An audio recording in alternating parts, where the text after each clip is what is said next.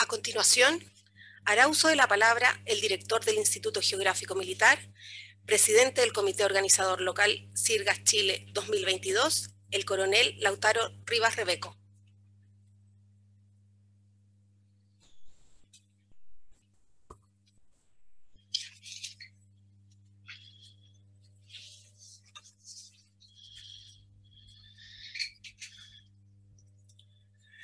Señor Comandante General de la Guarnición Ejército de la Región Metropolitana y Comandante Industria Militar e Ingeniería, General de División, Cristian Vial Macherata. Señora Subsecretaria de Bienes Nacionales, señora Marilén Cabrera Olmos. Presidente de Sirgas, señora Sonia Alves Costa. Presidenta del Comité Regional de las Naciones Unidas para la Gestión Global de Información Geoespacial para las Américas, señora Sofía Nilo Crisóstomos. Señores representantes, ante el Consejo Directivo de Sirgas, directora de la Escuela de Ciencias de la Tierra y jefe del Observatorio en Gestión de Riesgos de Desastre de la Universidad Bernardo Higgins, señora Fabiola Barranechea Riveros. Señores oficiales superiores de ejércitos vecinos, jefes y subalternos de las Fuerzas Armadas de Chile, académicos de universidades, empresas colaboradoras del Simposio Sirgas 2022, Colner Labraña y CIA Limitada, Geocom, Geoglobality y Microgeo. Señores expositores, invitados especiales, presenciales y virtuales, señoras y señores. Desde el año 1922, el Instituto Geográfico Militar ha aportado la información geoespacial necesaria para el desarrollo de nuestro país, constituyéndose como servicio oficial técnico permanente en representación del Estado en todo lo que se refiere a geografía, levantamiento y confección de las cartas del territorio.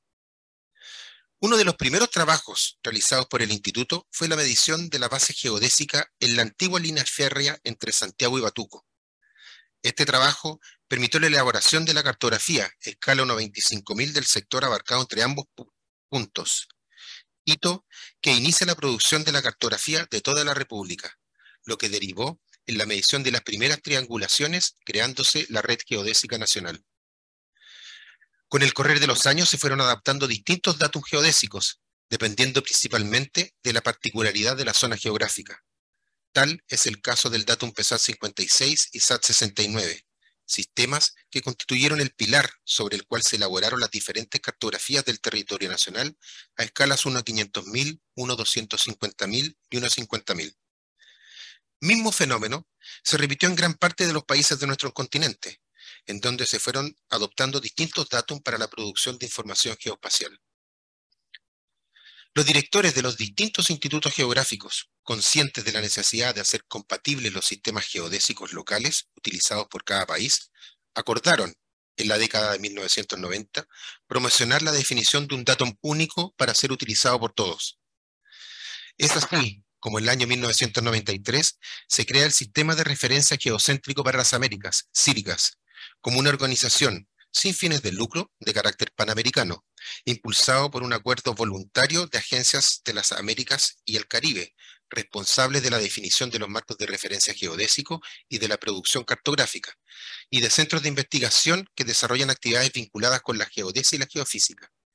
Sus objetivos principales son los siguientes establecer y mantener un marco de referencia geocéntrico continental, definir y materializar un sistema de referencia vertical unificado mediante alturas, desarrollar y actualizar un modelo de geoide gravimétrico de cobertura continental y establecer y mantener una red continental de gravedad absoluta. Es así como el año 1995 se realizó la primera campaña continental, en la cual se midieron 58 puntos o estaciones, Posteriormente, en el año 2000, se realizó la primera remedición, agregándose además un número importante de nuevos puntos, alcanzando un total de 184 estaciones medidas, distribuidas en todo el continente americano y el Caribe. Esta campaña permitió establecer el marco de referencia continental e iniciar los trabajos de cada país para la adopción de este nuevo y moderno sistema de referencia. Han pasado ya 22 años y hemos sido testigos de cómo Sirgas ha crecido y evolucionado, en la actualidad, contamos con una estructura sólida, compuesto por un consejo directivo, un comité ejecutivo y un comité científico. Además, la red ha crecido hasta alcanzar 400 estaciones permanentes y nueve centros de procesamiento, además de dos centros de combinación.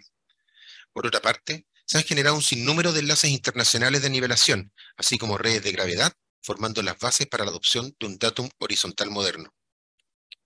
En el marco de lo anteriormente expuesto, y en el año del centenario del Instituto Geográfico Militar de Chile, es que nos encontramos iniciando este simposio de SIRGA año 2022, ocasión en la que conoceremos los últimos avances en materia de marcos de referencia, tanto vertical como horizontal, además de alojar a las distintas reuniones de los comités directivos, ejecutivos y científicos. Sean todos ustedes bienvenidos. Esperamos que esta semana cumpla con las expectativas profesionales que cada uno de ustedes se ha trazado y que sea una real oportunidad de camaradería, de fraternal intercambio de experiencias y conocimientos, de manera de fomentar la cohesión que permita el continuo crecimiento del sistema de referencia geocéntrico para las Américas. Muchas gracias.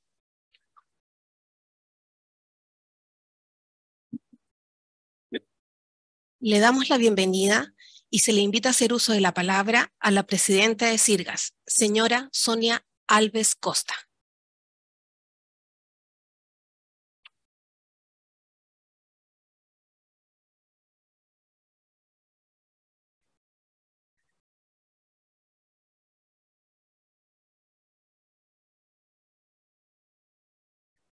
Buenos días a todos.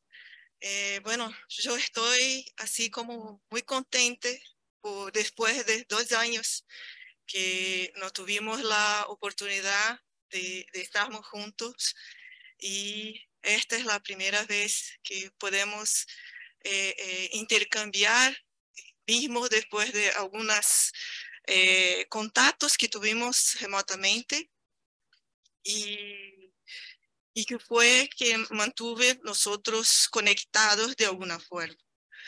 Entonces, eh, siguiendo el espíritu de Sirgas, espero que tengamos un, gran intercambio en este evento y, y podemos eh, trabajar en nuevos proyectos, estamos juntos. Bueno, yo gustaría de agradecer al Instituto Geográfico Militar de Chile que está nos brindando por esta oportunidad eh, e invitó, invitó, invitó, a Sirgas para que organicemos el, simposio de 2022 en conmemoración, en celebración de los 100 años de los, del instituto. Entonces acá estamos brindando este instituto importante para, el país, para la información geoespacial del país. Bueno, durante estos dos años tuvimos algunos cambios. Yo hablo así de Sirgas. Sirgas estuve a frente y, estará para eh, avanzarmos en las capacitaciones de geodesia en el continente. Bueno, Sabemos la importancia de la geodesia para todos nuestros países y cómo es estratégico esta, esta ciencia para prevención de desastres, para los estudios de clima. Entonces, eh, Sirgas ahora parte del Comité Regional UNGG Américas. Y ahí estamos para mostrar la importancia de la geodesia para nuestra sociedad. Entonces, esta no aparte de lo que vamos a eh, conversar mejor eh, en este evento, porque es la primera vez que tenemos un evento como eh, la presidencia de Sirgas está también, hace parte del Comité Regional UNG Américas. Y, y cómo debemos cada uno de nosotros eh, traer esto a nuestro país, la importancia que, que, que tiene los datos de geodesia para nuestra sociedad. Bueno, eh, muchas gracias por los colegas estarem aquí más una vez brindando un simposio Sirgas y intercambiando sus conocimientos y espero que de, de este encuentro tengamos algunos proyectos en conjuntos y muchas cosas a desarrollar juntos. Muchísimas gracias, más una vez, muchísimas gracias al Instituto Geográfico Militar por esta oportunidad. Y bueno, eh, considero abierto el simposio. Esto, gracias. A continuación, hará uso de la palabra la presidenta del Comité Regional de las Naciones Unidas sobre la gestión global de información geoespacial para las Américas, UNGGIM, la señora Sofía Nilo Crisóstomo. Adelante, por favor.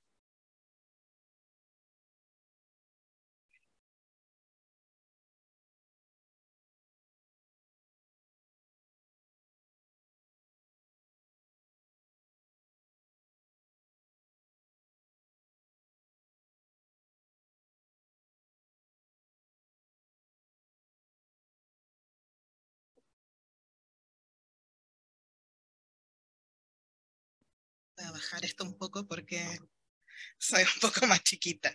Eh, bueno, buenos días a todos los colegas y, a todos y todas eh, en, esta, en esta conferencia. Eh, ahí agradecer a Sonia y al director, por, no solo por la organización, sino bueno, al director por brindarnos este lugar para esta conferencia. En mi calidad de presidenta de GEGIM Américas, eh, voy a realizar una presentación, si la pudieran proyectar. Eh,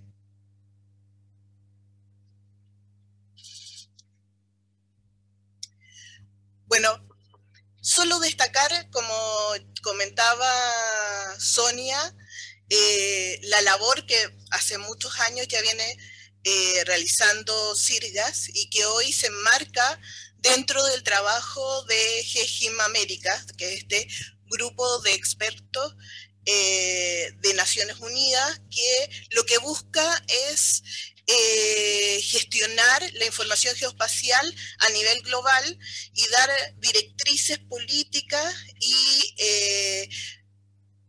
coordinar la colaboración entre las diferentes instancias regionales, hablamos regiones a través de lo que es regiones globales, y eh, también grupos de expertos eh, y de organizaciones en diferentes temáticas para la gestión de la información geoespacial. Eh, dentro de este contexto, también existe dentro de GEGIM Global un eh, subcomité de geodesia que eh, viene trabajando en definir políticas y promover la adopción e implementación del marco de referencia geodésico global eh, para que se implemente a nivel de las diferentes regiones del mundo. En esto, bueno, voy a, estar eh, voy a seguir con la presentación. Eh, adelante.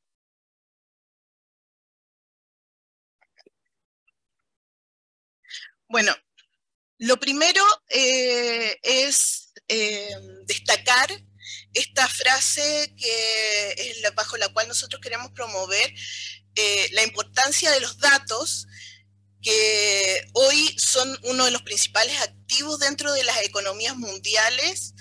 Y eh, bueno, esta frase que se destaca, que es de Clive Humby, que es un británico, y que la destaca The Economist en 2017, hablando de los datos.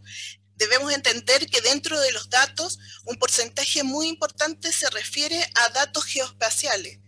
Por tanto, ahí tenemos que tener la real conciencia de la importancia de los datos que manejamos en lo que son las ciencias eh, de la Tierra y que eh, gestionan estos datos geoespaciales.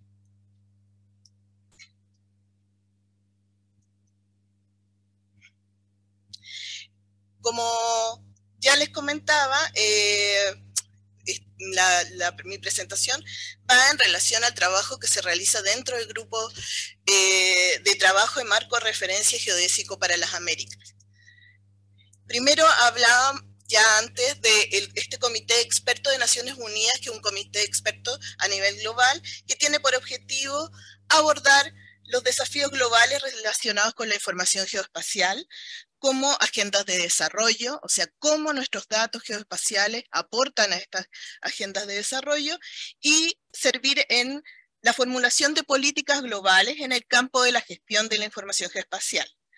así como proporcionar un foro para servir de lance entre, de coordinación entre estos Estados miembros, que son los Estados miembros de Naciones Unidas, y las organizaciones internacionales. Dentro de, como ya les comentaba también anteriormente, de eh, este organismo global, existe un subcomité de geodesia de GEGIMA, eh, en el cual hay representantes de las diferentes regiones del mundo. Eh, en el caso de América, tenemos ahí varios de nuestros países que conforman este subcomité. ¿Cuáles son los objetivos de este subcomité? Proporcionar un foro intergubernamental para la cooperación, el intercambio y el diálogo en estas materias, proporcionar liderazgo estratégico sobre la gestión y desarrollo de estrategias y políticas a nivel de los países, un plan de implementación de hoja para la ruta del marco global, eh, desarrollar un concepto de gobernanza, fomentar el intercambio abierto de datos geodésicos, abogar por pautas y estándares para avanzar en la interoperabilidad de sistemas y datos geodésicos, abordar asuntos técnicos, institucionales y de política relacionados con el marco global, mantener un diálogo entre los Estados miembros, proseguir la implementación del marco y proporcionar una defensa del mismo y, muy importante, continuar con el lance de comunicación de iniciativas y actividades regionales apropiadas. Esto es apoyar también a lo que son las iniciativas regionales para la adopción de los marcos globales, en este caso el marco de geodesia. Luego, para entender, eh, está la arquitectura regional global de GEJIM, en lo cual se conforman comités regionales y en este caso nosotros, bueno, eh, yo estoy representando aquí al Grupo Regional de las Américas, que nosotros como Chile tenemos la presidencia y, eh, y acá se representan los estados miembros de todas las Américas. Que bueno, ahí podemos ver a todos los, los 36 estados miembros de este comité. Y eh, como les comentaba, en este caso lo, presidimos eh, como Chile, eh, la vicepresidencia la tiene Estados Unidos, hay una secretaría ejecutiva que también la tiene Chile, una secretaría técnica que la mantiene CEPAL, y hay vocales por cada una de las subregiones de la región. En este caso, bueno, de Norteamérica es México, de Centroamérica, Panamá, de Caribe, Jamaica y de Sudamérica la ejerce Argentina. En, dentro del, trabajo que lleva adelante eh, este comité regional hay diferentes grupos de trabajo y eh, en esta gestión, que bueno, la gestión de, este, de esta junta directiva que yo presido, eh, comienza en diciembre del año recién pasado. Eh, dentro del plan de trabajo de esta junta directiva, lo que se ha decidido es impulsar con fuerza la adopción de los marcos integrados que promueve Naciones Unidas.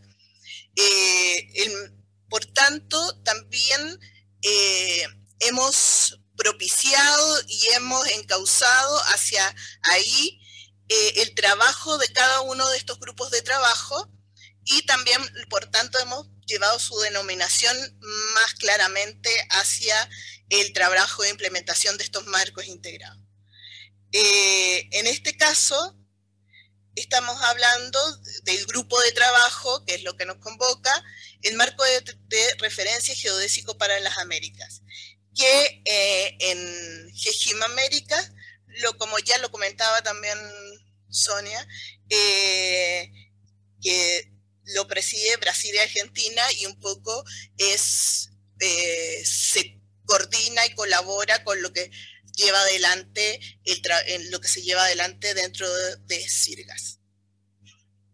También eh, están estos otros grupos de trabajo, que es el Marco Global Estadístico y Geoespacial, el cual preside copresiden Colombia y México, que lo que busca es integrar los marcos geoestadísticos y geoespaciales eh, en el marco integrado de información geoespacial, el IGIF, que eh, es el marco para integrar la información geoespacial, por tanto, este marco eh, podríamos decir que es una, una cúpula o, agrupa todos los otros marcos de, de gestión y eh, tenemos también el grupo de trabajo para el marco estratégico de información y servicios geoespaciales para desastre, el cual está copresidiendo Brasil y Ecuador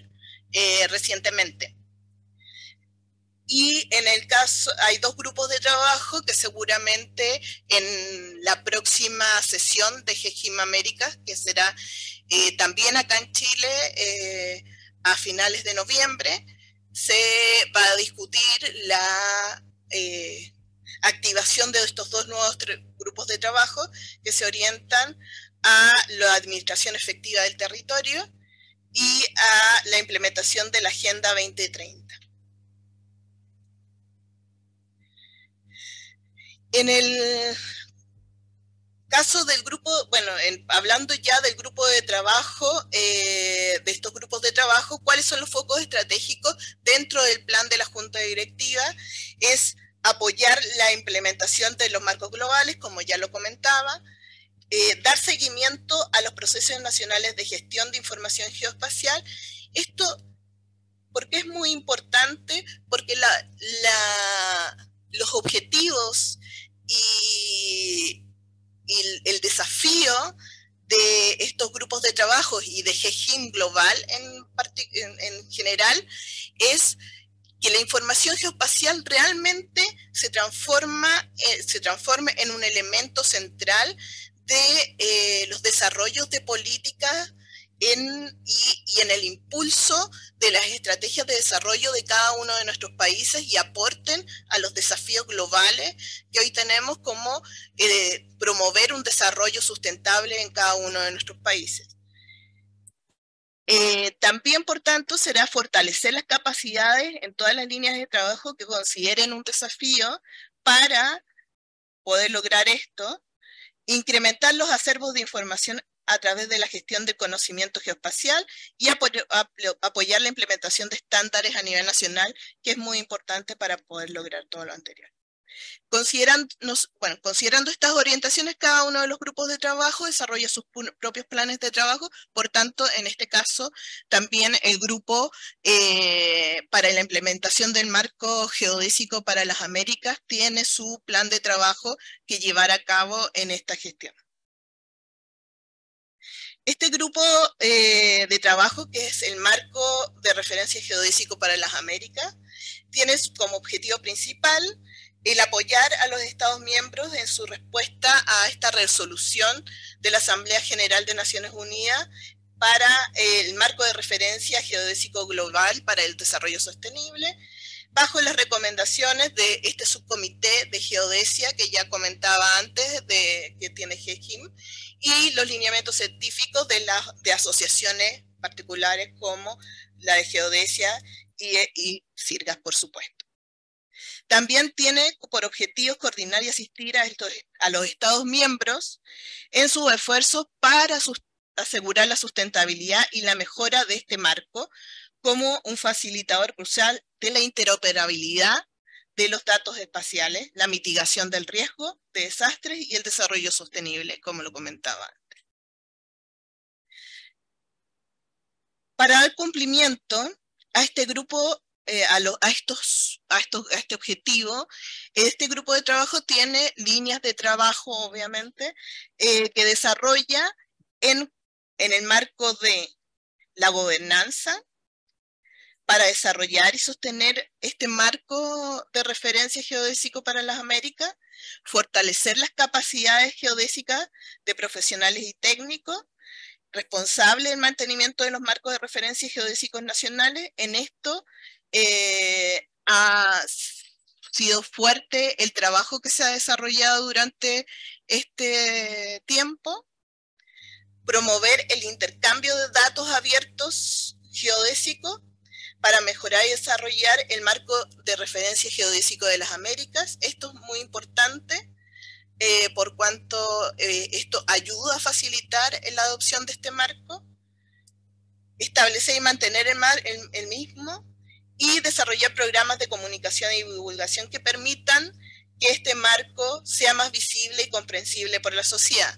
En esto quería destacar eh, una actividad organizada eh, por el grupo de trabajo eh, durante el año pasado, que es el Foro de Geodésica de, las, de GEGIM Américas, titulado Geodésica, Geodesia para la Sustentabilidad de las Américas, desarrollado el año pasado el, durante mayo de ese año eh, y el cual eh, se desarrolló con mucho éxito y en esa línea la idea es, ir promoviendo este tipo de actividades durante eh, este periodo.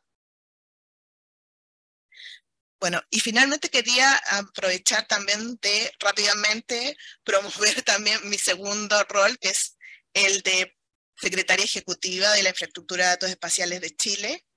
Eh, ahí nosotros, como Infraestructura de Datos Espaciales de Chile, también promovemos dentro no solo la gestión y la adecuada gestión de, los datos geoespaciales para Chile, sino también eh, el trabajo en la red geodésica nacional.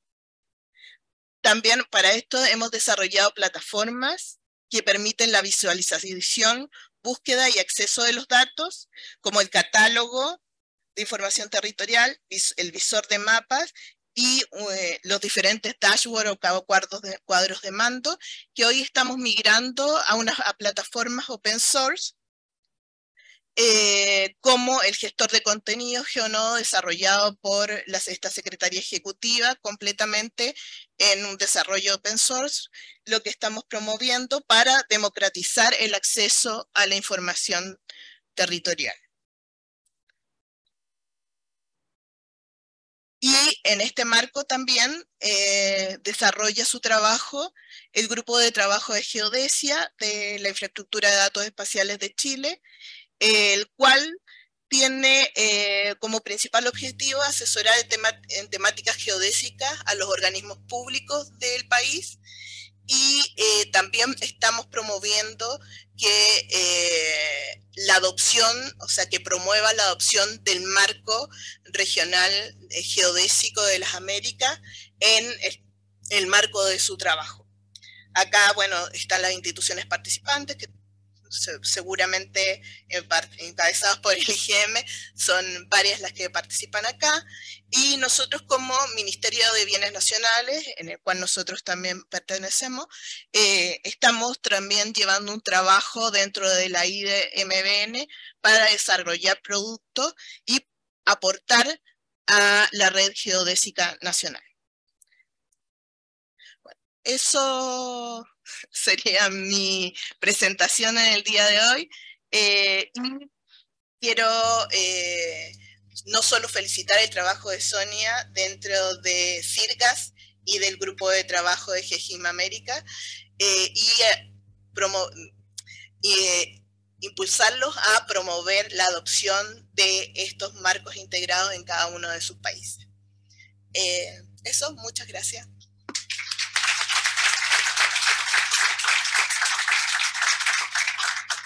Comenzaremos con nuestra primera sesión del simposio, reporte de las autoridades de SIRGAS y actualización del Geodetic Reference Frames America for Working Group, GRFA, de UNEGEGIN Américas.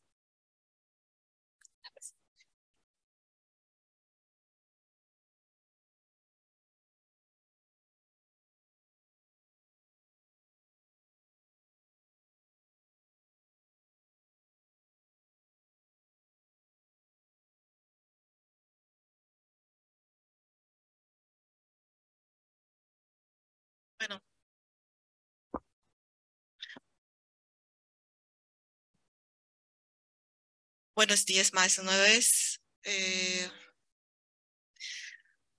bueno, esta presentación, eh, bueno, eh, Sofía, muchísimas gracias. En verdad, Sirgas, yo estoy tratando de conducir lo, lo que Sirgas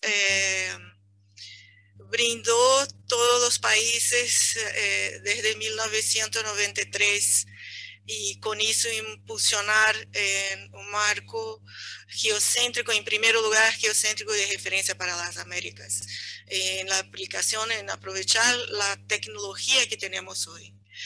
Pero mi presentación es un reporte sobre las actividades de Sirgas entre los años 2021-2022 eh, no solamente de CIRGAS, como también del Grupo de Trabajo de Geodesia de ONG en Américas. Bueno, acá eh, algunas informaciones principales. Después tenemos las presentaciones de cada de las actividades desarrolladas por cada grupo de trabajo. Entonces voy a pasar eh, en algunos puntos principales. Las capacitaciones remotas que empezamos a hacer eh, muchas cosas que habíamos planeado, planeado eh, en 2019 cuando yo y, Diego asumimos la presidencia. Eh, teníamos otros proyectos, otras, otros planes, pero la pandemia hizo un cambio muy grande en, toda nuestra forma de, trabajar operativa, mismo en nuestras instituciones. Entonces tuvimos que implementar las capacitaciones motas y la difusión de las actividades geodésicas eh, internacionales, nacionales, a través de las redes sociales. Eh, también actividades de grupo de trabajo de geodesia de ONG en Américas.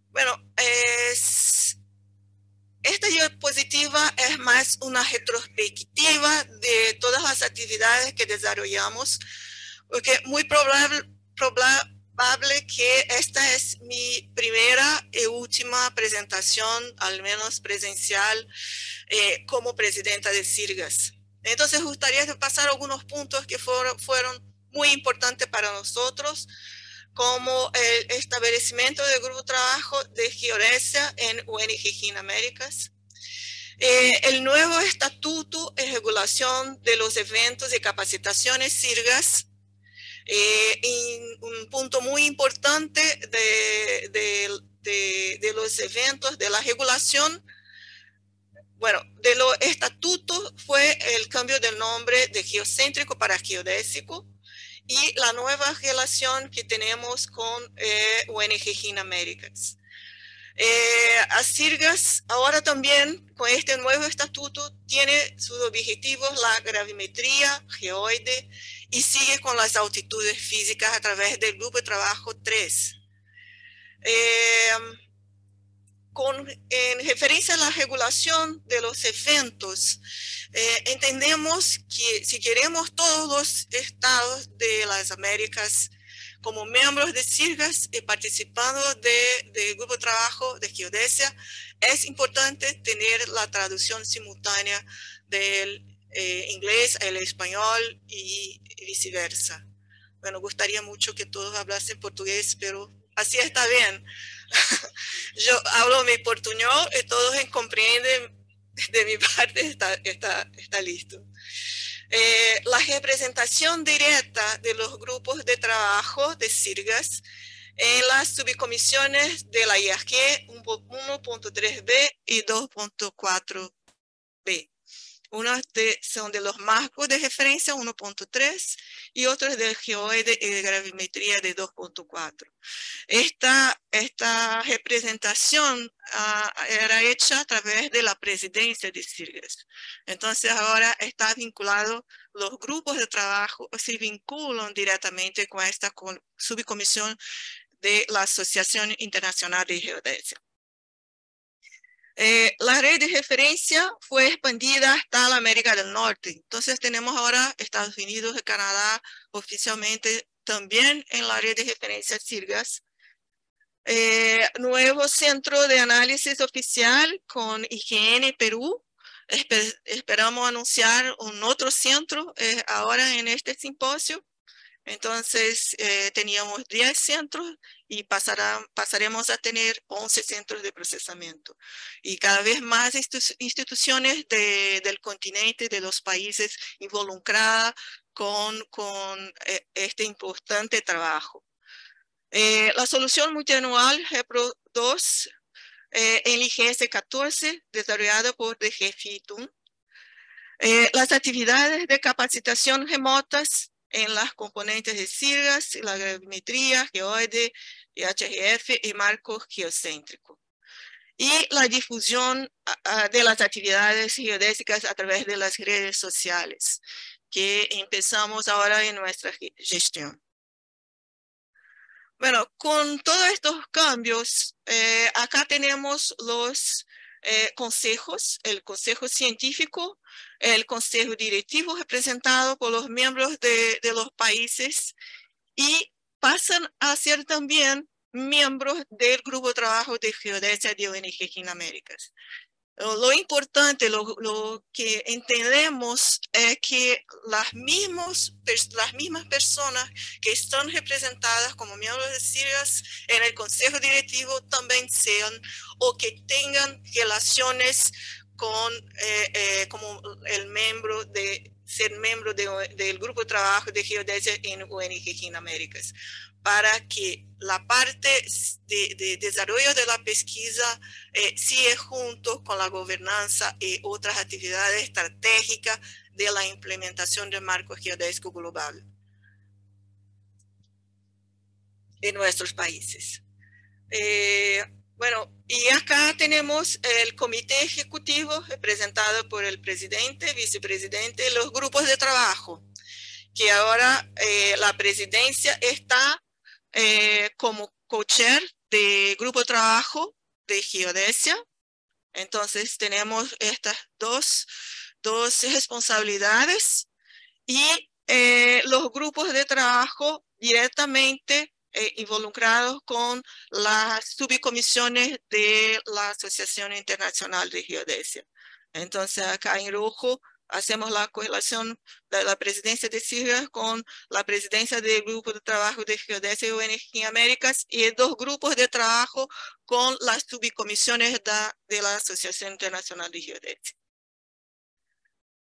Bueno, yo, ah, porque el micrófono está aquí. Bueno, eh, empezando a hablar de los trabajos del Grupo de Trabajo 1, las actividades del Grupo de Trabajo número 1.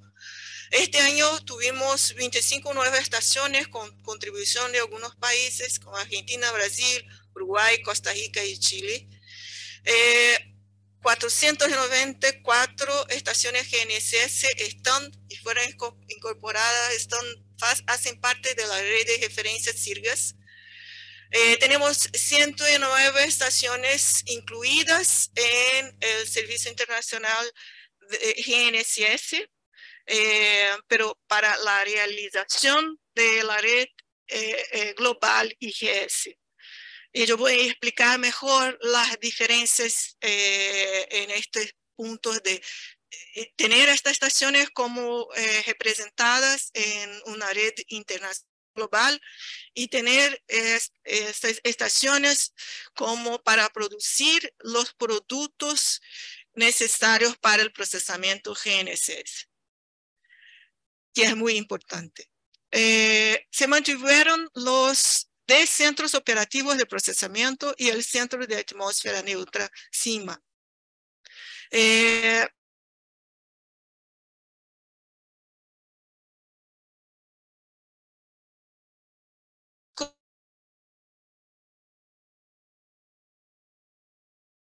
noviembre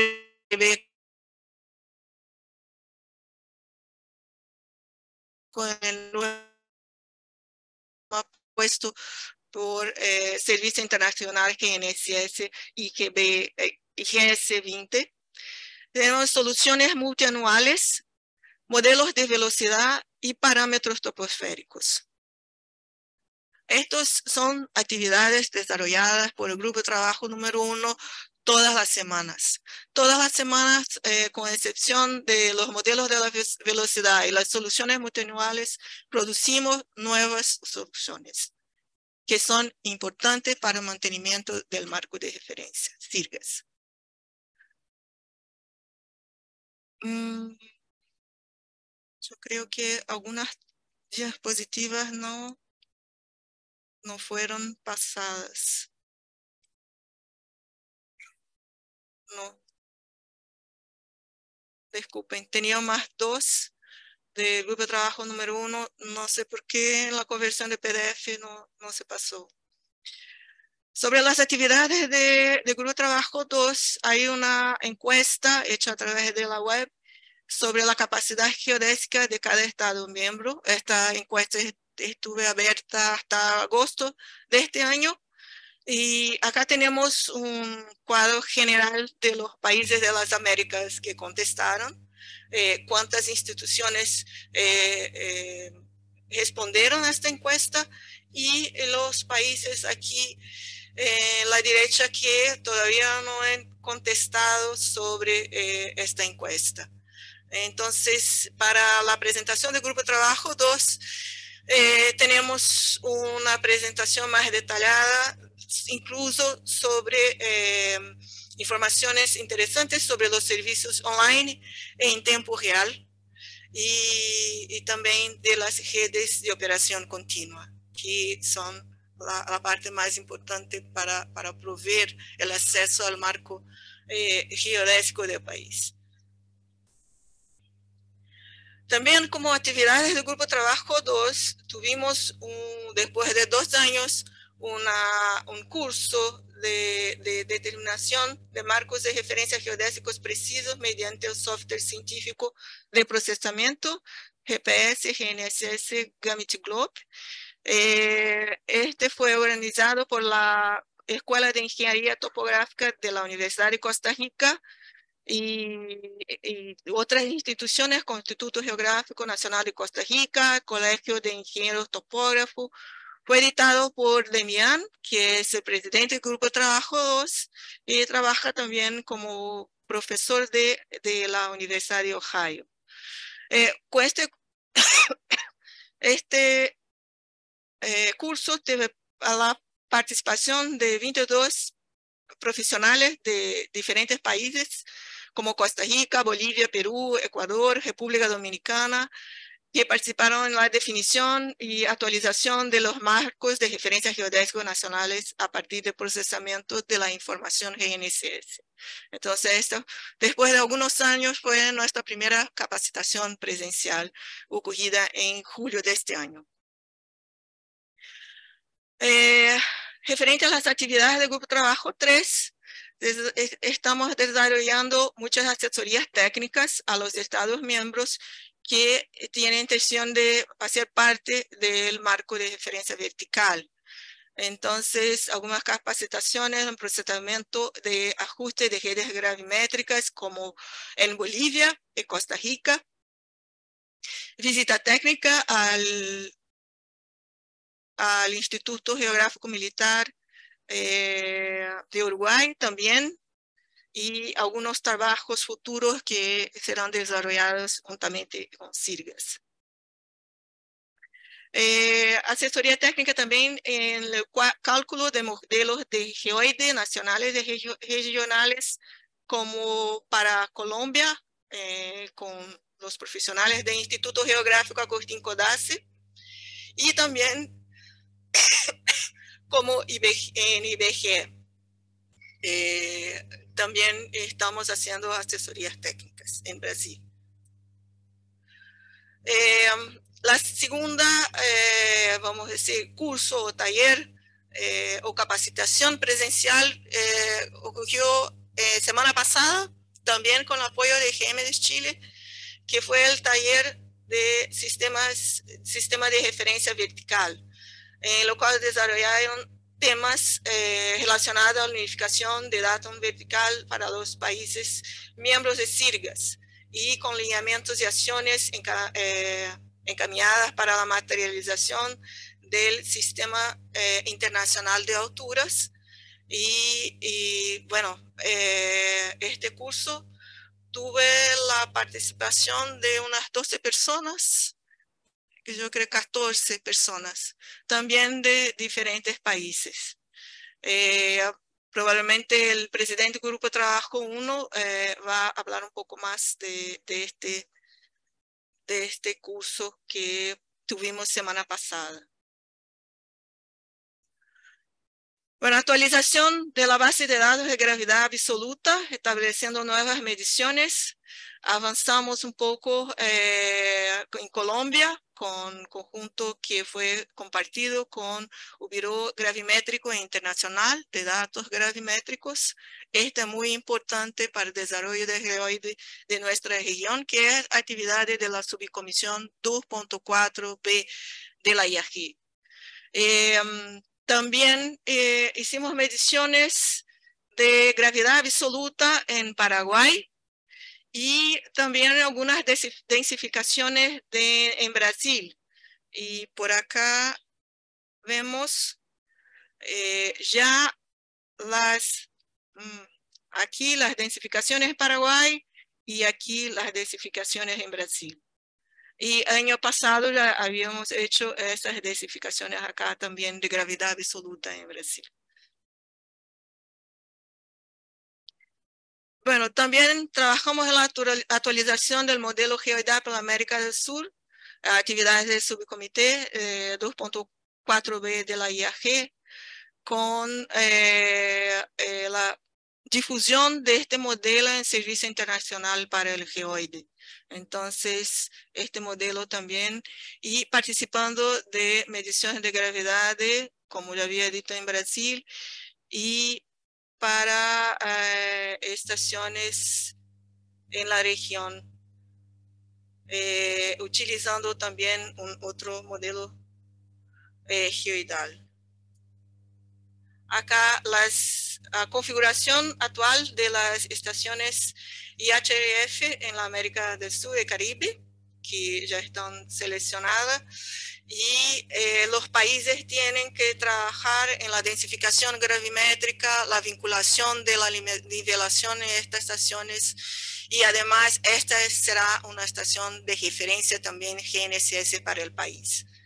Entonces, eh, es un trabajo muy, muy grande que tenemos eh, todavía por desarrollar y tenemos que trabajar en cooperación para que esta implementación del sistema vertical unificado de altura se concretice en nuestro continente que es muy importante para todos los países, principalmente en actividades económicas que tenemos en nuestra frontera. Eh, bueno, muy particular en mi país y sabemos de la dificultad que tenemos por esto.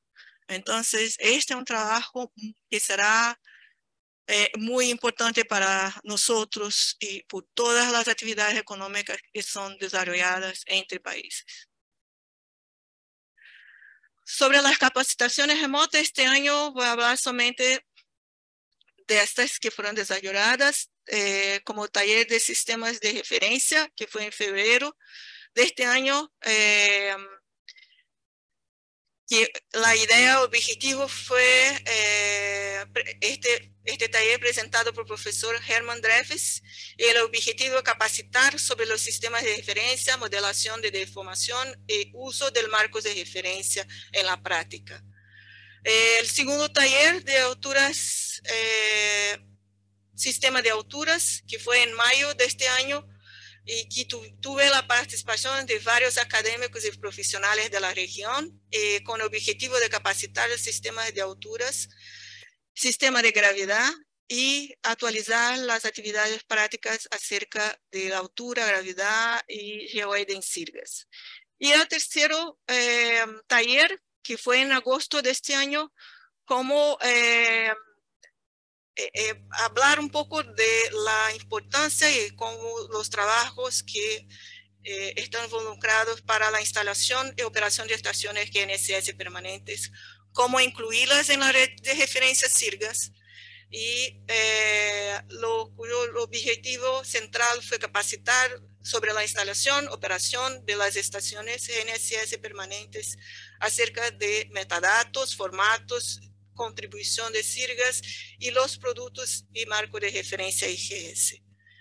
Bueno, estos fueron todas las presentaciones, esto en la página de CIRGAS. Y la grabación de cada presentación también está en YouTube de CIRGAS. Entonces, si no tuvieron la oportunidad de participar de uno de estos webinarios, todos hechos desde 2020 están grabados y las presentaciones PPT están en la página de CIRGAS.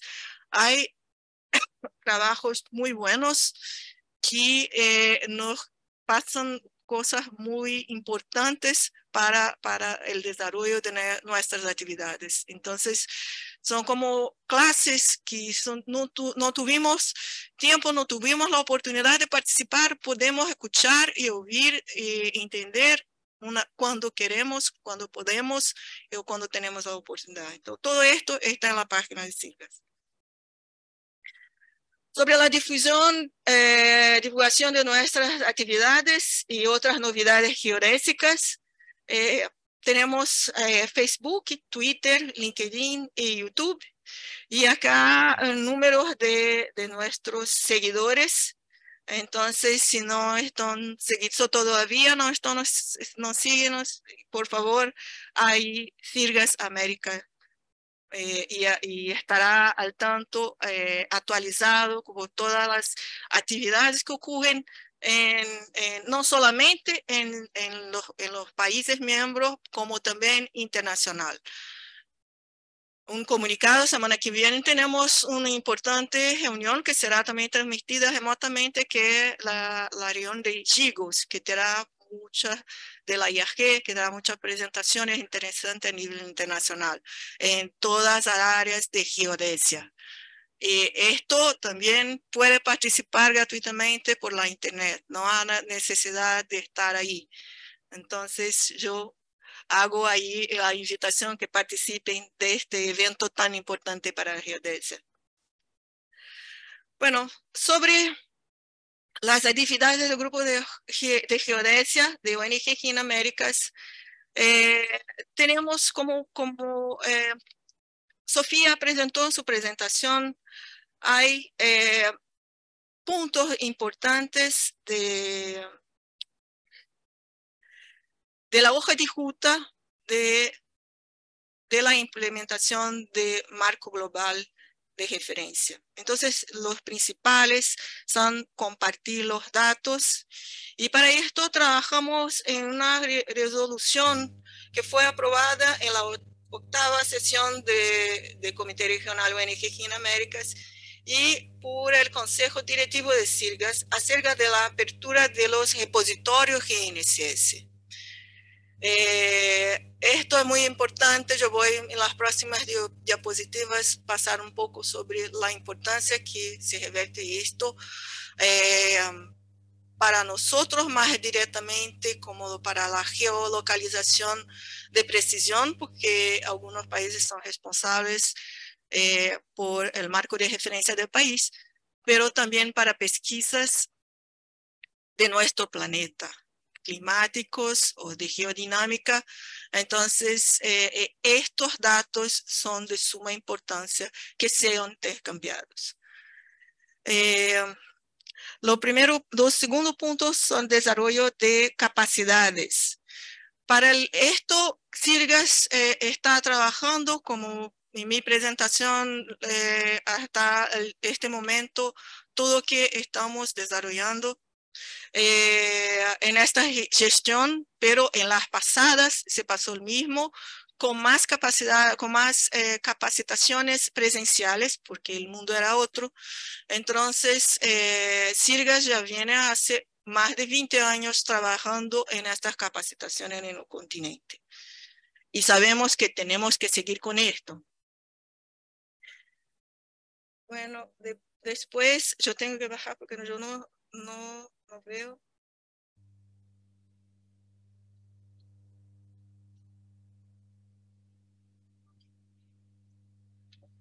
¿Qué es la comunicación? Eh, empezamos a trabajar, eh, pero todavía ainda tenemos que tratar la geodesia de una forma más clara con aplicaciones más simples para que los tomadores de decisión entiendan la importancia de la geodesia.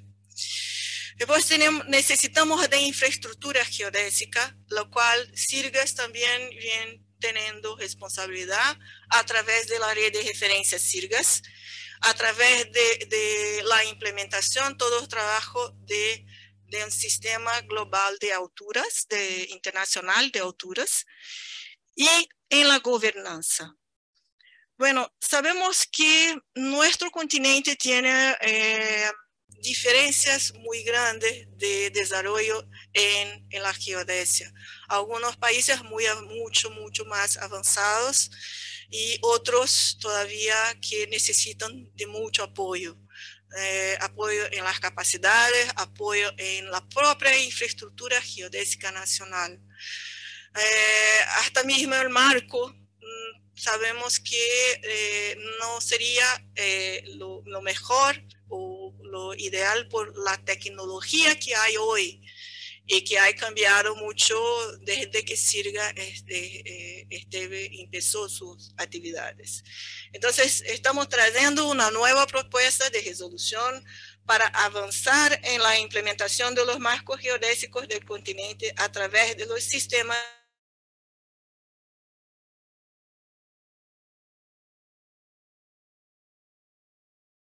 educada, mira, WGS 84 no es más posible para la geodesia por muchos motivos. Entonces tenemos que trabajar eh, la implementación de los sistemas internacionales de geodesia para que tenemos un marco geodésico global. Y seguimos la hoja de ruta de, de, de subcomité de geodesia. Entonces, ¿por qué nuestra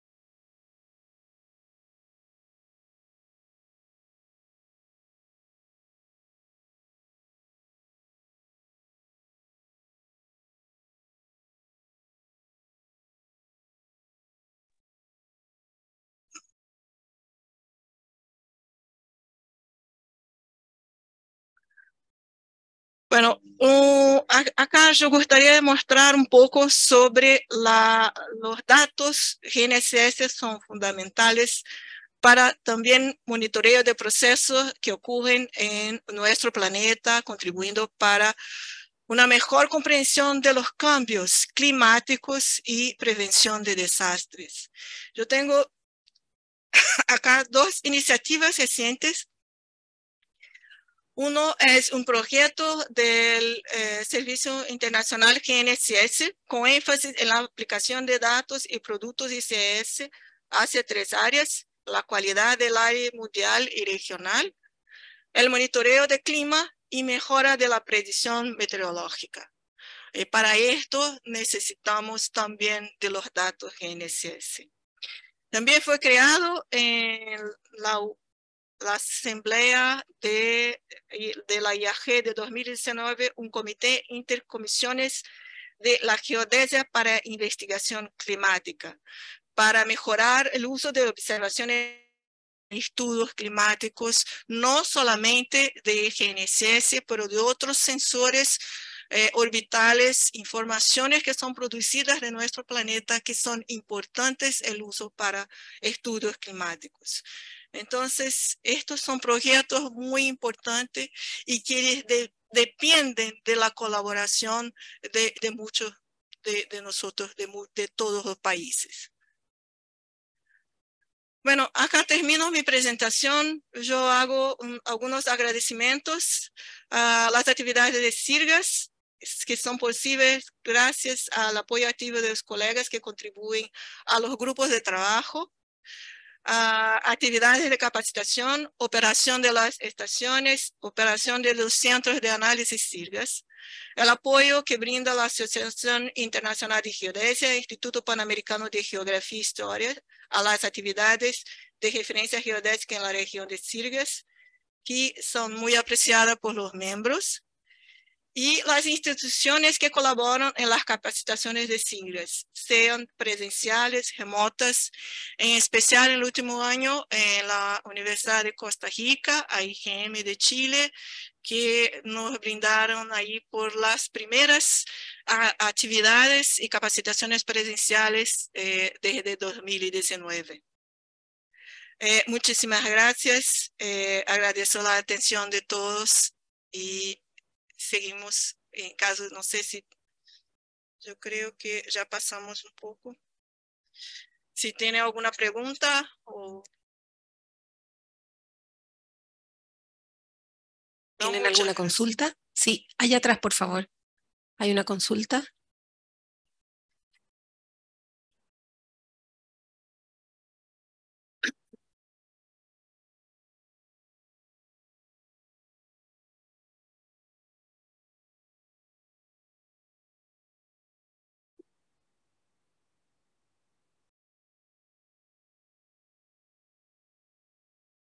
No, no tenemos consultas. Muchas gracias. Muchas gracias.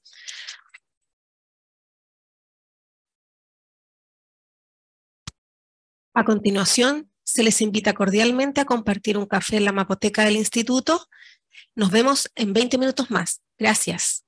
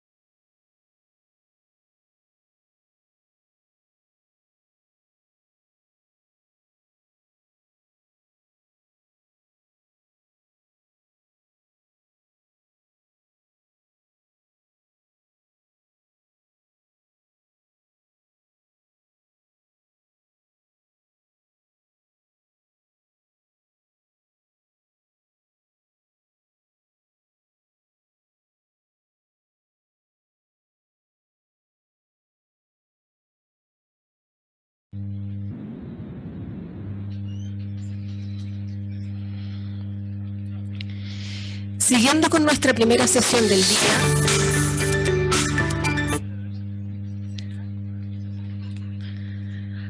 A continuación se presenta el señor José Antonio Tarrío, quien va a hacer el reporte del Grupo 1 Sirgas, Informe Anual 2021-2022.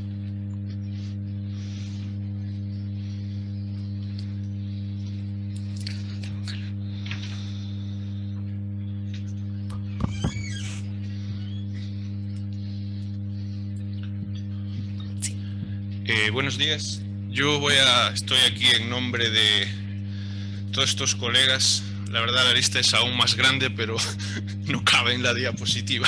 Están los responsables de, cada centro. Bueno, voy a hacer aquí el, informe anual 2022 de, de lo que es el grupo de trabajo 1. Vamos a ver un poco de generalidades, cómo funciona eh, el informe relativo a centros de datos y centros de análisis, una evaluación de la calidad de las posiciones que calculamos en Sirgas para el continente, las actividades que se han realizado este año, las comprometidas y unos comentarios finales. Bueno, eh, la responsabilidad que hay en el grupo de trabajo es con todos estos puntos, que son estaciones GNSS, los triángulos son estaciones que pertenecen al Servicio Internacional de, GPS y los círculos, que son estaciones que pertenecen directamente a Sirgas, lo que se hace es proporcionar un marco de referencia alineado con el ITRF a todo el continente. Actualmente trabajamos con 493 estaciones y el procesamiento se hace con observable GPS y GLONASS lo que se hace en el grupo de, trabajo es eh, coordinar desde que se pone la estación en terreno hasta que llega el dato a los países. Bueno, ¿cómo ha evolucionado el marco de referencia? Las dos primeras eh, imágenes son del marco de referencia Sirgas 95 y Sirgas 2000 respectivamente. Inicialmente había 58 estaciones, 184 con Sirgas 2000, casi todas o la práctica totalidad eran estaciones de campaña y ahora mismo tenemos 493. Este año hemos incorporado 25 y hay 109 que forman parte del poliedro IGS. La idea es que con este marco de referencia los países puedan densificar sus trabajos de manera jerárquicamente hacia abajo, desde el punto de vista cartográfico o de ingeniería. Bueno, eh, tenemos centros operadores que se encargan de instalar las estaciones y disponibilizar la información, centros de datos que suelen coincidir en la mayoría de los casos con eh, los institutos geográficos nacionales o en algún caso alguna universidad y un centro regional de datos que está en este caso en Alemania. Todas las estaciones eh, siguen constelación GPS, y eh, la mayoría también constelación GLONASS. Y en gran parte de los casos, las que están en IGS tienen también constelación Galileo y Beidou. La idea es que estas estaciones contribuyan al marco ITRF y además sirvan para densificar o colaborar con la densificación del GGRF y en la parte vertical enlazar eh, el aspecto físico. Bueno, en relación a los centros de, análisis SIRGAS hay tres tipologías, centros locales de procesamiento, centros de combinación que eh, combinan esas eh, soluciones que dan los centros locales y un centro asociado al IGS. De ahí se obtienen soluciones semilibres, soluciones multianuales y soluciones ajustadas al ITRF semanal de manera eh, semanal. Aquí Ahí se ve la, red Sirgas-C. La red está compuesta de una parte que se llama Sirgas-C o núcleo, que son las estaciones más estables, y después las densificaciones regionales. Esa red se combina en una sola y da las coordenadas Sirgas.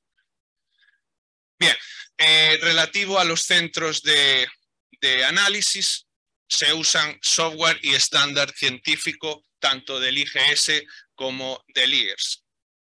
Eh, la mayoría de los centros trabajan con el software Mernes y hay tres centros que trabajan con Gamit eh,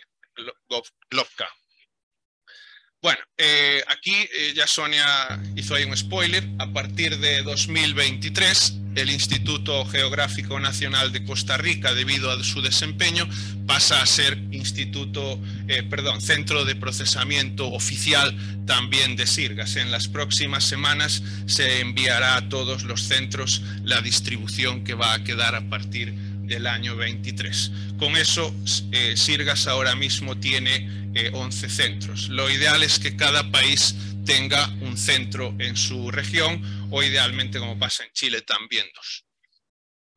Bien, eh, cada red es procesada o cada centro procesa una parte de la red que se asigna de la siguiente manera.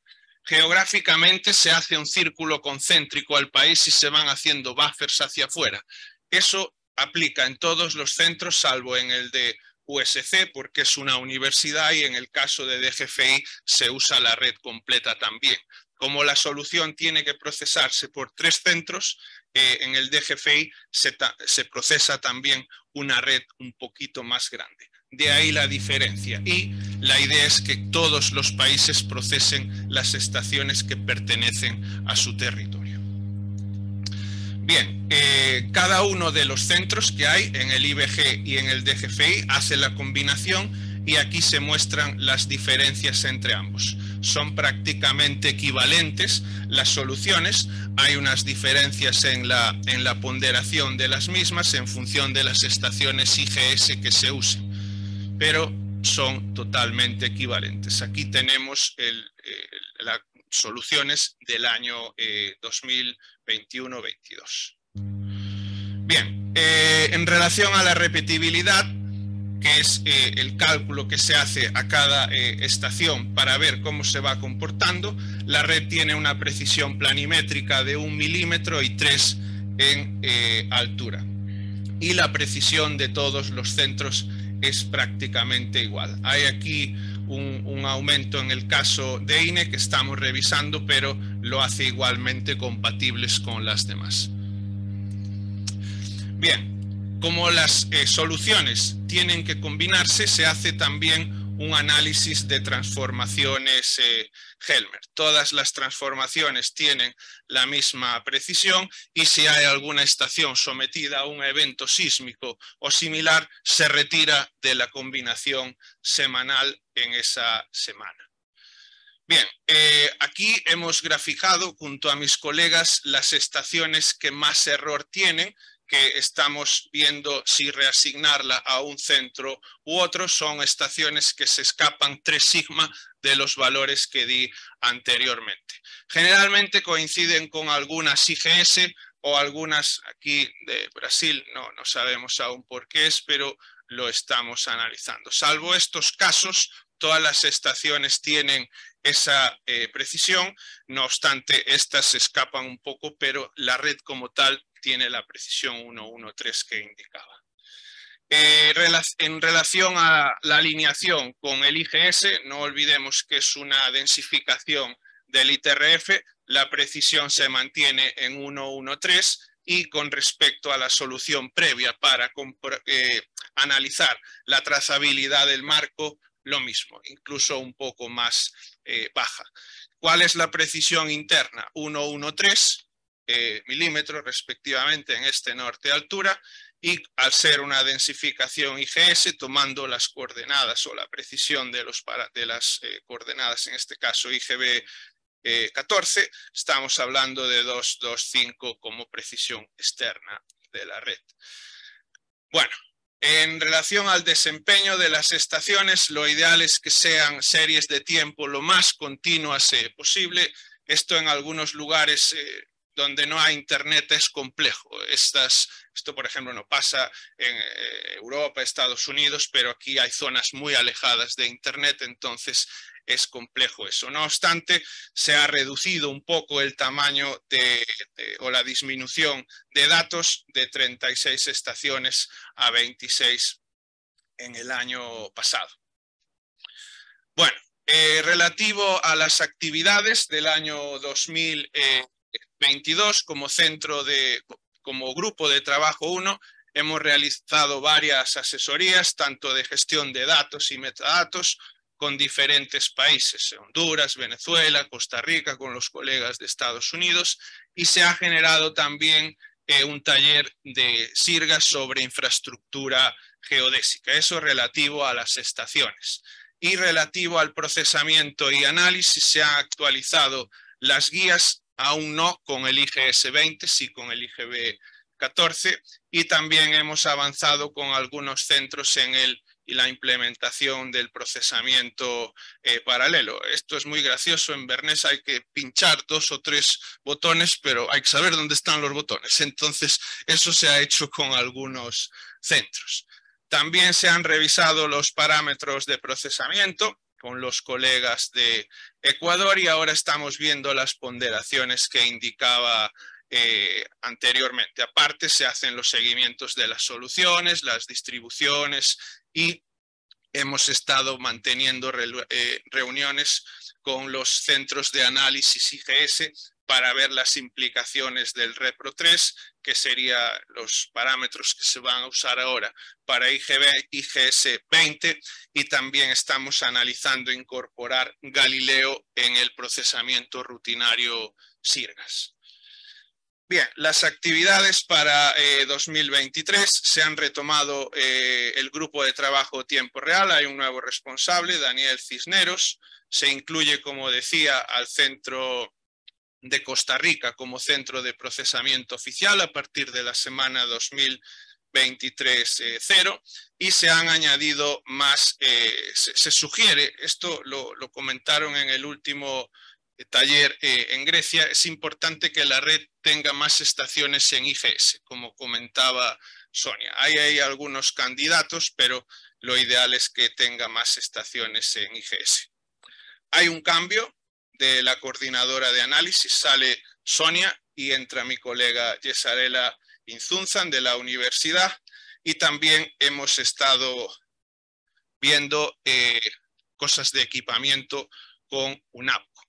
Se van a hacer capacitaciones en procesamiento GNSS y con los nuevos eh, estándares para hacer la transición de IGB 14 a IGS 20. Y veremos por la tarde en la reunión del grupo 1 todo lo que tiene que ver con el Repro 2 de Sirgas, incluir Galileo y la parte de eh, modelos posísmicos de deformación o marco de referencia basado en época. Esto lo vamos a ver en la tarde. Eh, como comentarios finales. Bueno, eh, importante, eh, la red actualmente provee el acceso al ITRF en las Américas. El grupo de trabajo 1 disponibiliza un marco de referencia estable, preciso, consistente y sobre todo accesible. Toda esta información es abierta y esto se basa en una colaboración conjunta enorme. Ningún país va a poder realizar geodesia de manera única. Eso es súper importante. Hay que agradecer a los centros de datos, centros de procesamiento y de combinación para poder llegar a una red con un milímetro horizontal y tres vertical. Importante la parte de recurso humano que contribuye con todo esto también al empleo de UNGGIN y el marco de referencia para las Américas. Eh, estos logros, voy a leer textualmente, eh, estos logros son el resultado de la exitosa cooperación internacional. Aquí el trabajo colaborativo de los centros es muy importante, de, mis colegas en, el grupo, eh, Laura, Alberto, Sonia y Esarela, que permiten que podamos llegar a la solución que actualmente tiene la red, tanto para cartografía como ingeniería o trabajos científicos. Esa sería mi presentación. Muchas gracias. Gracias.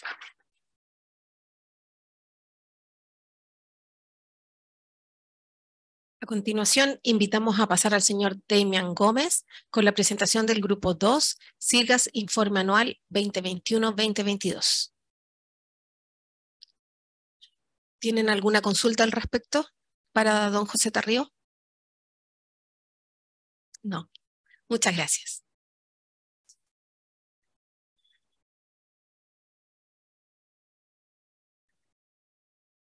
Buen día, muchas gracias. Bueno, eh, voy a hacer la presentación de algunas de las actividades que hemos venido llevando adelante durante el último año.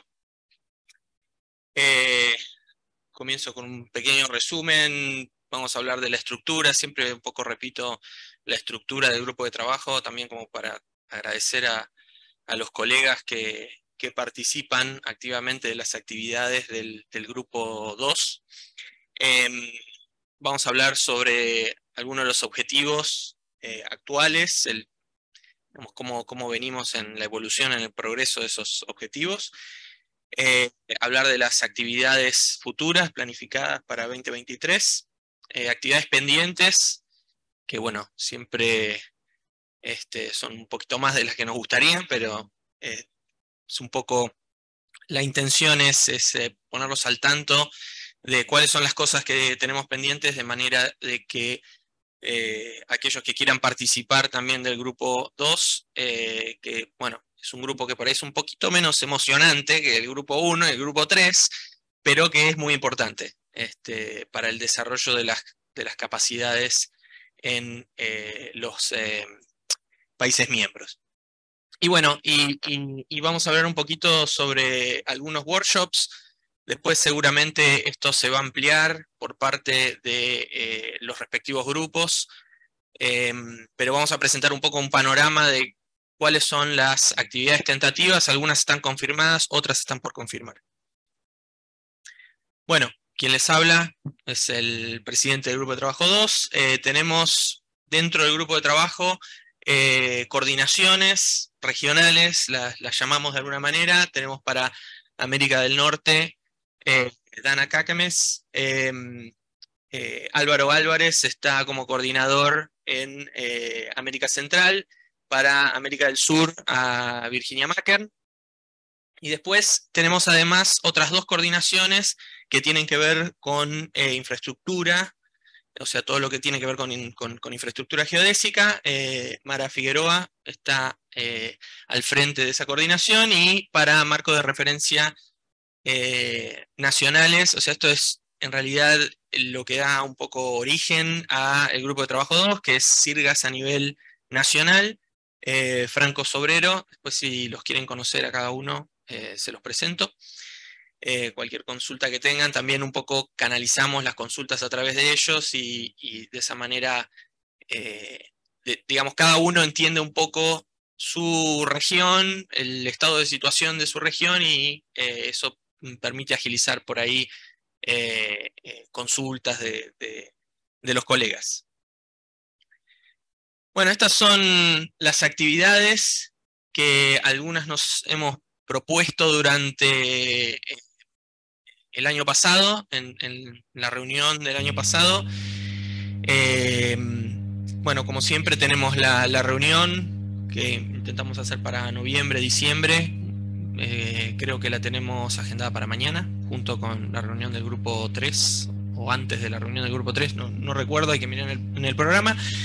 Eh, alguna de las. Eh, una de las de, los objetivos que nos habíamos planteado también al, comienzo de, mi gestión era la actualización de la, una de las guías digamos, relacionada con monumentación Em, quisiera hacer una aclaración con respecto a esta guía. Esto no es una guía nueva, sino que lo que estamos haciendo en realidad es una recopilación de la información disponible e intentar ponerla toda en un solo lugar, eh, de alguna manera homogeneizar, porque hay muchos criterios para la monumentación, y un poco también tener en cuenta las necesidades y las realidades de, de cada uno de los países que quieran implementar eh, algún tipo de monumentación. Hay un montón de información sobre monumentación, pero bueno, la idea era recopilar toda esta información y eh, luego, obviamente, eso pasa a ser también parte de una de las guías que ya existen eh, en el grupo de trabajo 1.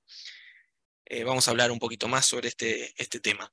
Em, después tenemos algunas acciones internas que, bueno, ahora, ahora vamos a ver. Puedo pasar directamente a esta, a esta, a este slide donde, bueno, obviamente la reunión se hace, la actualización de la guía está todavía pendiente, eh, se sigue trabajando, el, avance es un poco lento, justamente lo que buscamos es eh, conseguir voluntarios y, personas que estén dispuestas a, hacer aportes, a resumir algunas de las, de las actividades, mejor dicho, de las, de las guías que ya existen. Eh, estamos em, trabajando con, varios colegas, lo voy a mencionar más adelante, para, justamente llegar a este objetivo. Em, el tema de, bueno, algún protocolo para reuniones, esto directamente lo hemos cancelado. Eh, bueno, la razón fundamental es porque no hemos tenido una participación muy activa o un poco menos activa de lo que hubiéramos deseado, entonces, bueno, suspendimos un poco esta, esta actividad porque entendimos que había otras prioridades un poco más importantes. Eh, muy importante el desarrollo del diagnóstico del estado de arte de los marcos de referencia regionales. Esta es una actividad que, bueno, como, grupo de trabajo 2, eh, tuvimos la oportunidad de incorporarnos a eh, el grupo de trabajo ETCB del subcomité de geodesia, Education, Training and Capacity Building, eh, como observadores en, ese grupo de trabajo. Y esto nos permitió de alguna manera eh, influenciar o, canalizar alguna de las inquietudes de qué es lo que nosotros necesitamos saber dentro de CIRGAS para tomar decisiones que están relacionadas a entrenamiento, a desarrollo de capacidades, em, que en la versión anterior que se había hecho de eh, la encuesta de UNGGIM eh, a nivel global no habían sido respondidas. O sea, lo que hicimos básicamente fue de pronto, de alguna manera, hacer las preguntas de manera un poco más específicas. O sea, eh, algunas preguntas que estaban globalizando algunas de las capacidades de los, países miembros, lo que se trabajó es en un poco dividir esas preguntas en más categorías. Em, bueno, vamos a ver algunos de los resultados. La encuesta, eh, como creo que ya mencionó Sonia, eh, se cerró, estuvo abierta eh, más de un año, me parece, en total.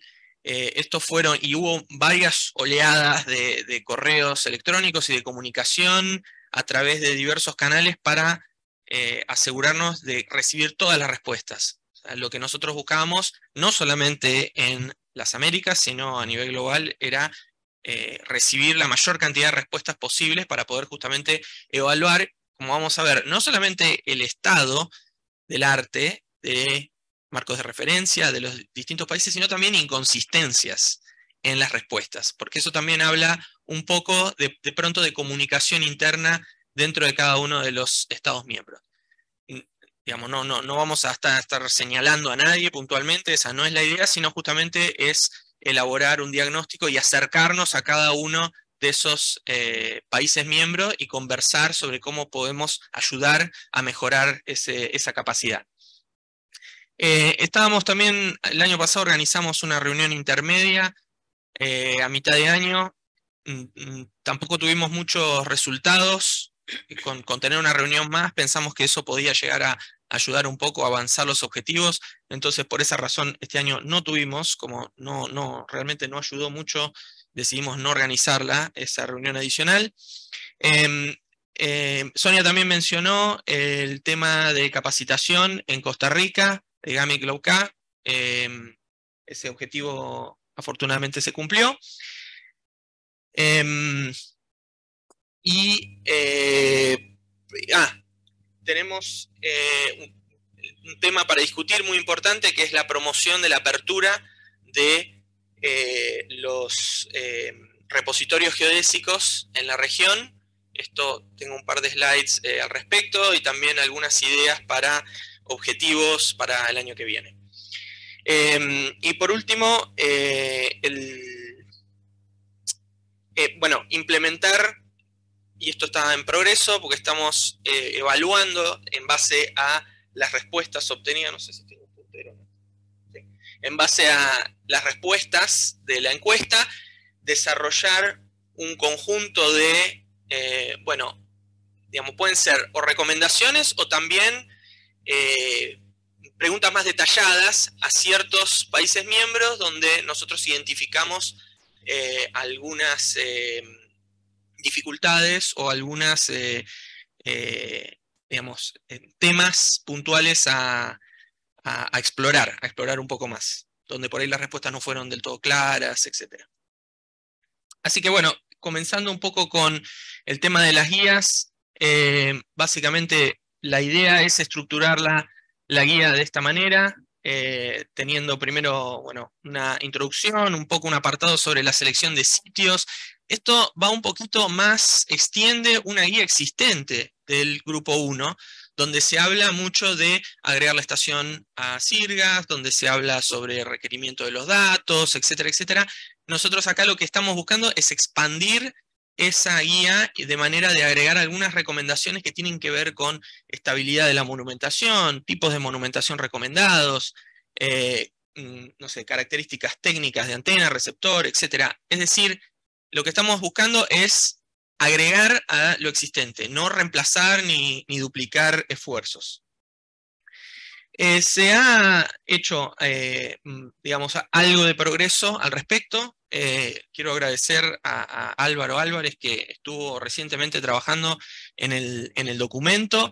Em, pero bueno, la, comunidad no, como, como mencioné antes, no ha, digamos, eh, digamos, no ha realizado un esfuerzo significativo, estoy pensando en la palabra en inglés, engage, en, un esfuerzo significativo como para, como para, bueno, terminar esta guía y poder pasarla al grupo de trabajo 1 para poder agregarla en, eh, en, las guías existentes. Así que estamos trabajando también con, Canadá, gracias eh, Sandra que, Bolanos, que tuvimos este, un par de reuniones en donde hablamos bueno, de la finalización del documento y además de eh, poder también hacer la traducción al inglés. Hoy por hoy el documento se está escribiendo en español, pero la idea es tener toda la documentación en ambos idiomas. Así que, eh, bueno, y como Sonia dijo, portugués, pobre, tienen que, se tienen que arreglar con portuñol. Pero bueno, después también lo podemos, eh, podemos hablar sobre, sobre también traducción a portugués. Así que necesitamos agregar recomendaciones y experiencias sobre todo de monumentación. Eso es, me parece lo más importante, es que cada uno de los que mm, quieran aportar a ese documento digan, nosotros tenemos esta experiencia con este monumento, eh, hacemos las cosas de esta manera, seguimos esta guía y siguiendo esta guía encontramos que tenemos esta dificultad que no está mencionada en la guía, etcétera, etcétera. Eso es lo que se busca. Bueno, em, pasando un poco a eh, eh, la encuesta. Eh, la idea de la encuesta, esto nuevamente es la segunda encuesta de este tipo que se realiza. Un poco la idea es mm, evaluar las capacidades geodésicas de cada uno de los países. Este gráfico resume un poco las cuatro áreas que se evalúan con la encuesta. De un lado tenemos todo lo que tiene que ver con marcos de referencia, eh, acceso a los marcos, datum, información geoespacial, eh, infraestructura y después eh, capacidades desde el punto de vista, capacidades geodésicas de conocimiento, o sea, no sé cómo explica acá, ¿no? procesamiento, mínimos cuadrados, ¿no? todo lo que tiene que ver con conocimiento general de geodesia. Eh, bueno, la encuesta ya se cerró en agosto de 2022 y ahora se está comenzando con el proceso de análisis de las respuestas. Lo que yo voy a presentar acá es un resumen. Hay un póster que han preparado eh, Franco Sobrero junto con los otros miembros del grupo de trabajo que va a estar colgado donde están los pósters, no estoy seguro dónde están, pero ahí pueden leer para allá. Bueno, eh, para allá. Y y ahí van a poder ver algo más del, análisis y, bueno, si tienen alguna pregunta o ustedes se ven reflejados de alguna manera en el póster y quieren hablar más en detalle con nosotros, bienvenido. Em, bueno, acá hay un gráfico de los comités regionales de UNGGM. Quiero hacer una aclaración acá. Eh, se muestra como África y en el, en el mapa que mostró Sonia está la división de países árabes. Eh, esos países están en los dos subcomités. Cuando hicimos este, este este mapa, solamente tomamos, digamos, los subcomités como, como nos fueron llegando, entonces acá no quedó ese solapamiento, pero digamos, eso está, eso fue tenido en cuenta a nivel UNGGIM. Nosotros de todas maneras nos vamos a concentrar obviamente en Américas. Eh, este es el mismo mapa que mostró Sonia, donde eh, podemos ver la cantidad de respuestas y eh, algunos países que no respondieron la encuesta, esto por lo menos con los datos de agosto de 2022. Si por alguna razón ustedes ven su país acá de gris y respondieron la encuesta, por favor vengan a vernos a ver cuál puede haber sido el problema técnico que hizo que no tengamos en cuenta la respuesta. Pero en principio, estas son las respuestas y acá está la lista de los que eh, no han respondido. Bueno, algunos resultados interesantes, porque esos son, bueno, cuántos respondieron, cuántas respuestas de cada país, pero algunas cosas un poco interesantes es, por ejemplo, eh, la distancia promedio entre cores, o sea, entre estaciones permanentes en la región. Y es interesante ver que estaciones con una separación promedio inferior a 50 kilómetros, 9% de los países miembros. Eh, y fíjense que un 43% declaran tener entre 50 y 100 kilómetros, mientras que el 19% declaran tener en promedio entre 100 y 200 kilómetros, y más de 200 kilómetros entre estaciones, 24%.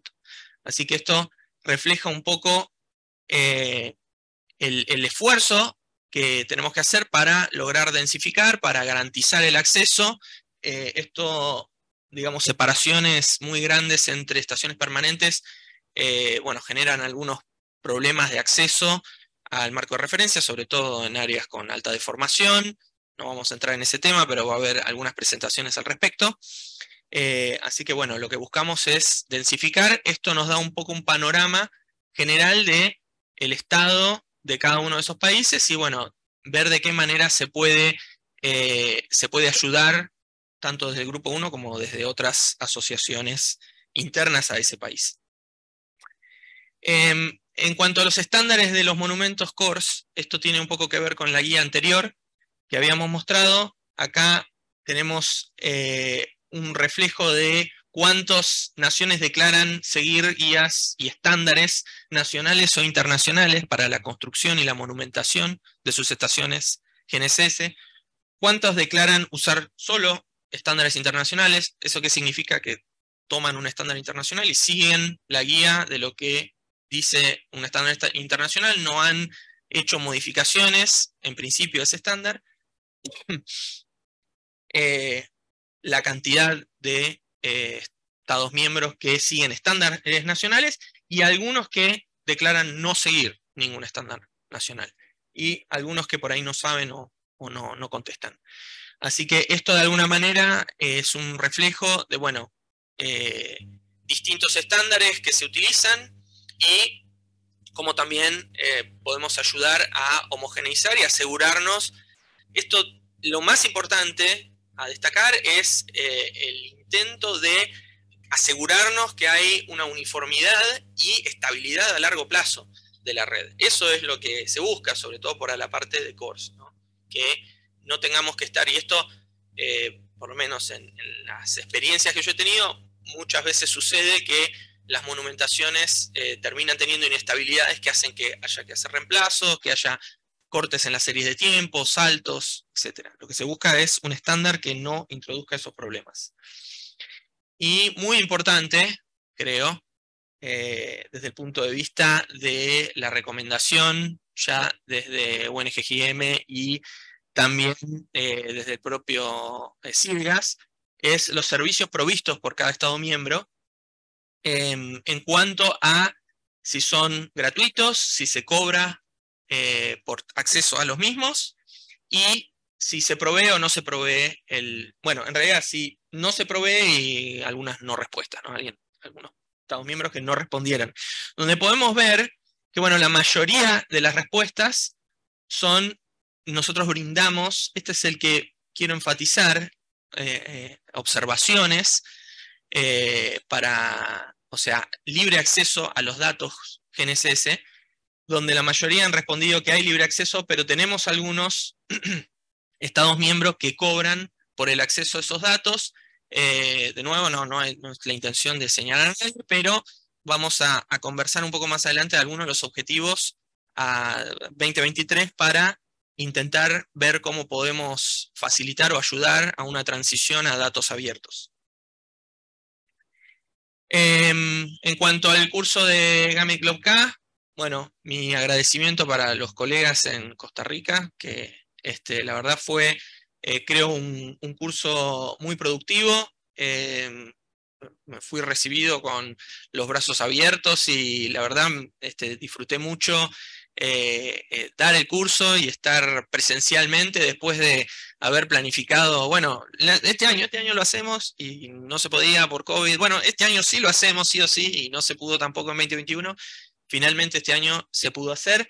Em, creo acá hay algunas, digamos, algunos datos eh, duros con respecto a que la calidad del curso eh, no, no me crean a mí, no me crean lo que yo digo, pregúntenle a los colegas que hayan participado.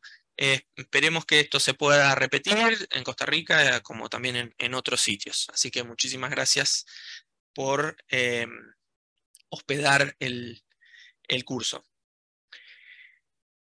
Em, bueno, el tema de repositorios abiertos, esto tiene un poco que ver con la resolución del año pasado que habla sobre la resolución 4, que em, eh, habla sobre eh, el apoyo a tener eh, repositorios abiertos y, bueno, relacionado a lo que hemos visto en el slide anterior, Estados miembros que no tienen repositorios abiertos, un poco la idea es ayudar a evaluar el impacto en esos Estados miembros, perdón, en esos Estados miembros que eh, no tienen repositorios abiertos, ¿cuál sería el impacto tanto económico, eh, porque bueno, entendemos que si se está cobrando para acceder a los datos, eso se ve como un ingreso, pero ¿cuál sería eh, el impacto positivo de dejar los datos abiertos? Por ahí, en, algunos sitios se evalúa solamente el impacto negativo de eh, dejar de cobrar por los datos, pero hay un impacto positivo, por otro lado, de facilitar el acceso a esos datos a toda la comunidad, no, digamos, sin entrar después en, servicios específicos, como servicios de posicionamiento. Ustedes vieron que las preguntas fueron más genéricas que solamente los datos GNSS, sino que había una pregunta sobre NETRIP, eh, sobre otros servicios de posicionamiento. La idea no es entrar en ese espacio, por lo menos no, por el momento. La recomendación es de datos abiertos. Entonces la idea es evaluar eh, cuál sería el impacto de abrir esos repositorios. Eh, y una buena noticia, algo eh, que digamos la región puede aprovechar, y ya lo mencionó José en su presentación recién, tuvimos una conversación con Glenn Mattioli de UNAPCO donde nos mencionó que, bueno, están, eh, de hecho ya salió la comunicación a través de, no sé si fue de IGS Mail o, sí, IGS Mail, em, donde se, da, se pone en conocimiento a la comunidad que hay receptores GNSS eh, que fueron reemplazados en diversas redes que mantiene UNAPCO y que tienen una pila de receptores para, bueno, regalar entre comillas. En realidad se lo, no, no, no es un regalo, sino que se lo dan a eh, países miembros. Eh, bueno, en realidad se lo dan a actores eh, en, digamos, que son miembros de UNAPCO que quieran aplicar y explicar para qué quieren utilizar esos receptores. Obviamente la utilización de esos receptores viene con algunas, con algunas condiciones y una de esas condiciones muy importantes es el hecho de que los datos que generen esos receptores vuelvan a UNAPCO y queden abiertos. Entonces, esto también un poco haciendo énfasis en lo que hablamos antes, ya como pueden ver, toda... Cinco minutos. Gracias. Toda la comunidad va en esa dirección. Eh, y lo que buscamos es justamente que los datos estén abiertos. Así que eh, tenemos por el momento, estamos estudiando dos opciones. Una es que cada uno de los países interesados aplique directamente a UNAPCO con ayuda nuestra en caso de que hiciera falta alguna traducción o algo relacionado a cómo formular la propuesta en inglés. Esto tiene algunos pros, es mucho más fácil de implementar. La contra es que cada país tiene que ser miembro de UNAPCO. o sea, se tienen que hacer miembros de UNAPCO para poder hacerlo. Hay un pago asociado para, asociarse a UNAPCO, pero se puede pedir un, un waiver, una, una, exención. O sea, se puede solicitar que UNAPCO no cobre ese. Em, ese y bueno, puede llegar a ser la otra contra, es que es un poco más difícil tal vez para algunos países eh, desarrollar una propuesta, etcétera, pero ahí nosotros podemos asistir. Y la otra opción, muy rápidamente, es hacerlo a través de eh, la Universidad de Santiago de Chile y de Ohio State, que ya son miembros de UNAPCO, y entonces nosotros canalizamos ese pedido, pero bueno, esto tiene la desventaja de que es una carga administrativa importante para nosotros, eh, por un lado, y por otro lado también hay una complicación más que es, bueno, después importación de los equipos, cómo llega el equipo al lugar que lo solicitó, eso hay que estudiarlo, no, no, todavía no lo tenemos muy desarrollado.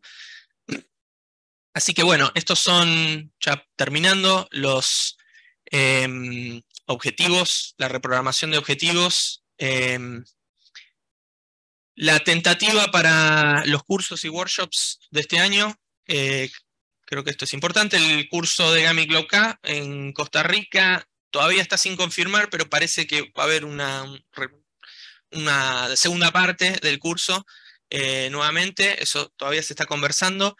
Talleres de marco de referencia, lugar a determinar, GT1 todavía está confirmando, eh, posiblemente el primer semestre de 2023. IGS 2020, actualización de conocimientos para la implementación, también a determinar por el grupo de trabajo 1. Y finalmente, sí, ya confirmado, la Escuela de Geoide en Buenos Aires, Argentina, en octubre de 2023. Esto ya es una capacitación confirmada hace solo un par de días. Así que bueno, eh, si tienen preguntas, quieren que conversemos, tenemos también abierta esta posibilidad durante la reunión del GT2, eh, que es mañana. Eh, pero si tienen comentarios ahora o algo para... Estamos buscando voluntarios, así que levanten la mano todos los voluntarios. Y muchísimas gracias.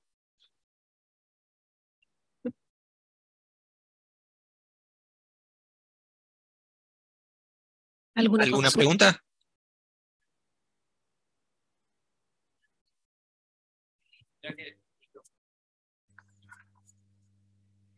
Eh, una pregunta y una sugerencia. En la encuesta, ahí, mm, si podrías poner el slide de, em, de las respuestas.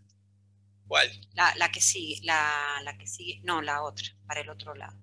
No, avanza. Esa. Esta. Eh, la tercera, ¿qué sería? Marks Unknown. Eh, esto es eh, información sobre marcas geodésicas, nodos de, nivelación, o sea, todo lo que tiene que ver con eh, información relacionada.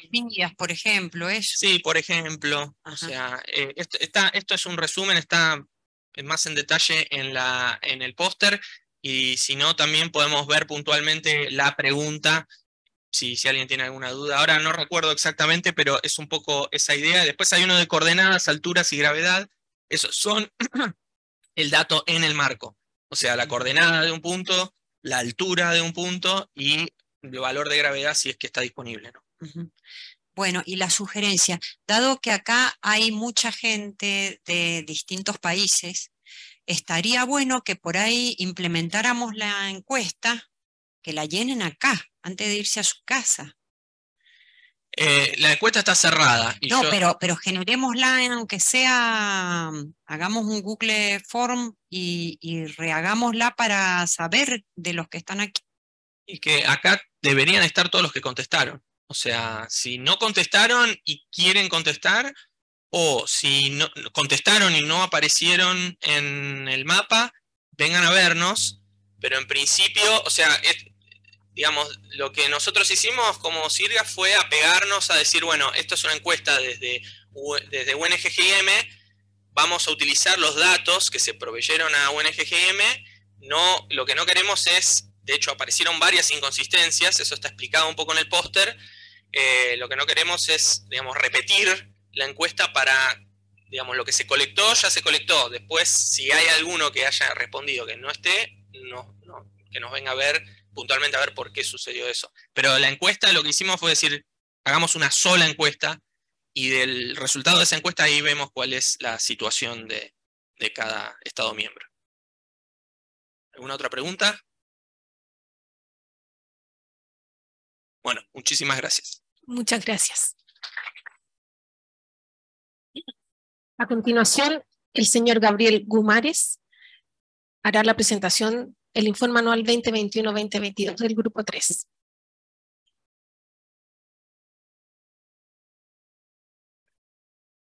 Bueno, buenos días. Uh, bueno, básicamente lo que voy a hablar hoy es uh, las actividades que hemos desarrollado en este año uh, por el Grupo de Trabajo 3.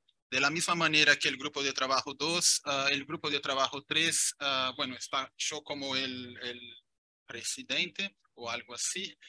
y ahí, bueno, tenemos cuatro coordinadores. tenemos un coordinador para las redes de nivelación, que es José Carrión de Ecuador la coordinadora de modelos geoidales, que es Ana Cristina de Brasil, que está acá con nosotros, uh, el coordinador de redes gravimétricas, que es Ezequiel Antocoletes, de Argentina, ahora Alemania, porque se fue para allá para trabajar, que lamentablemente no está con nosotros ahora, acá.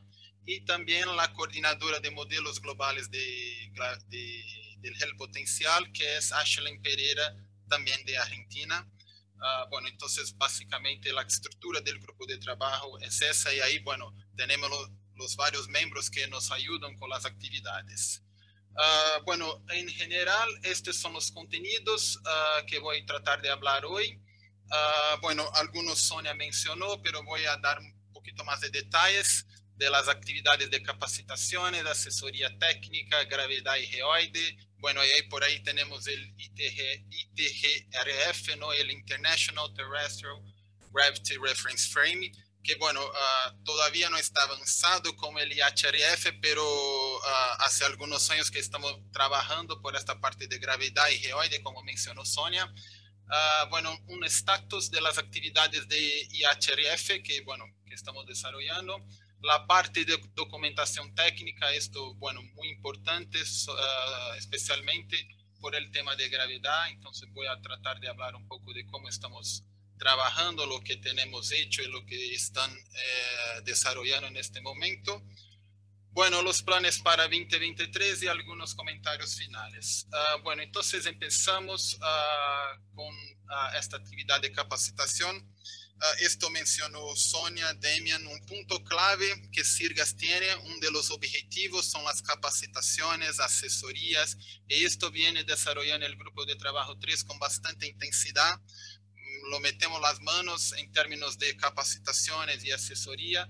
En este año tuvimos, conforme mencionó Sonia, el uh, webinario de alturas de gravedad, y ahí, bueno, estaba con nosotros Laura Sánchez, que trabaja con altura, uh, Denisar Blitzko y Ana Cristina con geoide, uh, Ezequiel Antocoleites con la parte de, de, gravimetría y Roberto Luz de IBGE con la parte de redes de nivelación. Entonces, uh, bueno, esto fue un de cinco días y como mencionó Sonia, está todo el YouTube, en la página de CIRGAS. Una otra cosa también que me gustaría hablar uh, fue la participación de algunos de nosotros del Grupo 3 en un webinario de, de Chile, entonces, bueno, también si por ahí nos invita a hablar un poco de las alturas o de gravedad, vamos a estar. Uh, parte de, de, evento de IGM Chile, uh, nuevo sistema de referencia altimétrico internacional, el IHRS y IHRF. Entonces participó en este, en este webinario Laura Ezequiel y yo. También está disponible en el YouTube de IGM de Chile. Bueno, la semana pasada yo, yo ya estoy acá desde el lunes, entonces, bueno, ya me siento un poco chileno, ¿no? Pero el, el, el acento es de Argentina, donde viví por, ese, por eso, ¿no? Pero uh, el miércoles, jueves y viernes uh, coordinamos un taller, el taller de sistema de referencia verticales, desde 2015 con el profesor Silvio de Freitas, uh, que era el anterior presidente del grupo de trabajo 3, 2015 hasta 2018. Me parece que todos los años había un taller uh, de sistema de referencias verticales. bueno, estaba planeado hacer uno en 2020 en Brasil, pero bueno, por, lo por, por, por la pandemia no, pudo, no podamos hacerlo. Entonces, este año uh, logramos éxito ¿no? en hacerlos. Agradezco al Instituto Geográfico Militar por todo el apoyo. Uh, estuvieron presentes 14 personas de estos países acá.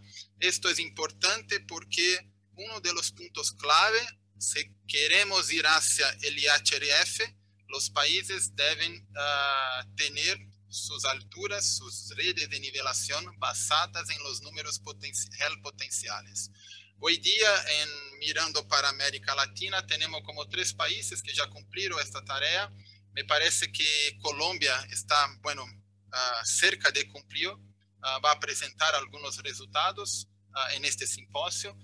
entonces, esto, es re importante para que los países logren éxito en términos de ofrecer alturas basadas en números real potenciales. Básicamente, el taller que desarrollamos nosotros, y ahí, bueno, uh, un agradecimiento especial para el ingeniero agrimensor Hernán Guanín, del Instituto Geográfico Nacional de Argentina, que me acompañó uh, durante el taller. Uh, dictó el taller porque, bueno, tiene larga experiencia en Argentina. Argentina es uno de los, de los países que ya cumplieron esta tarea. Bueno, gracias Hernán. Uh, básicamente el taller se, se divide eh, una parte de teoría con puntos que, bueno, pensamos nosotros que es importante y dos días de práctica. Y ahí desarrollamos estos cinco programas que fueron uh, desarrollados por Dreves y Laura, uh, que ofrecemos a participantes. Y bueno, con estos programas la gente puede, por ejemplo, procesar datos de gravedad, ajustar las redes de gravedad, uh, procesar los datos de, de, las redes de nivelación y también hacer el ajuste de las redes de nivelación. Entonces, esto todo, uh, bueno, y también, bueno, las diapositivas, es todo el material que ofrecemos para los participantes. Algunas fotos de, bueno, de la gente que participó, que vino acá. Uh, también, como mencionó Sonia, un otro punto que, que desarrollamos este año fue las asesorías a, a, aquellos estados interesados en establecer sitios IHRF, no solamente sitios IHRF, pero de manera general conocer un poco más de los puntos que estamos trabajando, como la parte de, de gravedad. Por ejemplo, por ejemplo, en el Instituto Militar de Bolivia, Ezequiel y yo uh, hemos dictado un, un, taller de procesamiento y ajuste de redes gravimétricas, o sea, fue más específico, específico para la parte de procesamiento y ajuste de datos de gravimetría. Uh, la idea uh, en este específicamente este este curso este esta capacitación hemos grabado los videos y la idea es disponibilizar en la página de Sirga los videos, esto ya hablamos con la gente de, de IGM de Bolivia, está todo ok, uh, y también uh, las presentaciones, básicamente un poco de teoría y también ejercicios uh, prácticos utilizando dos de los programas que mencioné en la diapositiva anterior. Entonces, esto si está en la página de Sirgas puede alcanzar más gente a conocer un poco más de, bueno, uh, de programas, de los temas que estamos tratando de gravimetría. Uh, lo mismo se pasó en, en, el IGN de Costa Rica, pero este solamente yo uh, desarrollé el taller, fue más específico por la parte de procesamiento de datos de gravedad, bueno, una vez que el, el, instituto cuenta con gravímetros, entonces tratamos de hacer uh, esta asesoría. Así como uh, una, una de las cosas que, que, hicimos este año fue visitas técnicas. Ahora, bueno, podemos salir ¿no? para, para ir a, lo, a los países. Y bueno, en julio estuve el Instituto Geográfico Militar de Uruguay y bueno, quien también por toda la recepción. Uh, y bueno, ahí tratamos de, hacer, de hablar de algunas cosas relacionadas no solamente a, al IHRF, como también, por ejemplo, Uruguay está desarrollando un nuevo modelo de geoide. Bueno, vamos a tener una presentación sobre eso en el simposio. Uh, bueno, uh, Uruguay también tiene una estación prevista para el IHRF. Y bueno, estamos tratando de hacer nuevas mediciones absolutas para 2023. Bueno, eh, por fin, la última asesoría o el conjunto de asesoría que hemos desarrollado fue hacia desarrollo de modelos geoidales uh, con, con IGAC en Colombia y también empezamos ahora recién con IBGE. Uh, esto es importante porque, bueno, el proceso para tener los valores de potencial de gravedad y por ahí a tener uh, las alturas físicas basadas en el IHRF pasa por el desarrollo de un modelo geoidal. Eh, básicamente lo que vamos a calcular es un modelo geoidal y de ahí tomar valores de potencial de gravedad y bueno, y ahí convertir para alturas o algo así. Entonces, eh, es importante que los países eh, tengan en cuenta la importancia de tener un modelo geoidal actualizado. Ah, hoy día tenemos en azul los modelos disponibilizados en el Servicio Internacional para Geoide. Entonces, todos estos países acá, y también acá no se puede ver, pero hay como por ejemplo el modelo de Colorado, que es donde estamos trabajando uh, por el tema de IHRF. En Brasil hay algunos estados como São Paulo, eh, bueno, y también el modelo de, de Sudamérica. Entonces, todos estos modelos están disponibles en la página del servicio, se puede descargar, se puede, bueno, a hacer los cálculos o entonces se puede utilizar la calculadora del modelo, uh, la calculadora, perdón, del servicio uh, de ISG. Uh, es importante que, por ejemplo, si en tu país tenga un modelo reidal, que lo envíe a la gente del, del, del Servicio Internacional para de Geoide para que quede disponible para, bueno, que todos puedan utilizar. Y ahí, por ejemplo, si uh, tú calculas un modelo, puede hacer algunas comparaciones, pruebas con otros modelos que están por acá. ¿sí? Lo mismo en términos de modelos geoidales estamos tratando de hacer en términos de uh, una base de datos de gravedad absoluta. Uh, bueno, básicamente esta figura presentó Sonia con las nuevas estaciones que hemos logrado en este año, especialmente en Colombia, en conjunto con BGI de Francia, en Brasil y Paraguay tuvimos la oportunidad de, bueno, de agregar más puntos y acá un especial agradecimiento al prof. Denis Arblitsko, que bueno, eh, mete las manos y hace uh, uh, mucho trabajo de, de absoluta. Uh, la idea, de la misma manera que, que el geoide, que para los geoides, eh, bueno, que estos puntos estén en una base de datos que se llama AGRAV. Uh, básicamente es de BGI y de BKG de Alemania. Todavía hasta ahora o hasta la, la, la última semana eh, el servicio no está fuera de aire, están haciendo algunos mantenimientos en el servicio, pero bueno, uh, estos puntos acá que se puede ver son lo que tenemos uh, en términos de gravedad absoluta uh, en, en, Sudamérica, en, bueno, en, en Costa Rica también. bueno, si queremos también un día llegar hacia el ITRGF, tenemos que, bueno, hacer esfuerzos en términos de gravedad absoluta. Bueno, uh, las actividades de, que bueno, acá llamo de gravedad y geoide, uh, el año pasado calculó Ana Cristina el, el, último modelo para nuestro continente o para, la, para Sudamérica. Uh, esto, conforme mencionó Sonia, también es una actividad de la subcomisión 2.4b, que es la subcomisión de geoide y gravedad en América del Sur. Entonces, bueno, que, bueno, yo estoy como el, el chair, el presidente de esta subcomisión. Subcomisión. En este año uh, está disponibilizado, disponible en el Servicio uh, Internacional para Geoide. Uh, de la misma manera, utilizamos este modelo, por ejemplo, para calcular uh, valores de potencial de gravedad en las estaciones de la región. Uh, y acá, bueno, hemos presentado eso el año pasado en el simposio y hay algunos resultados acá de las comparaciones que, que hemos hecho.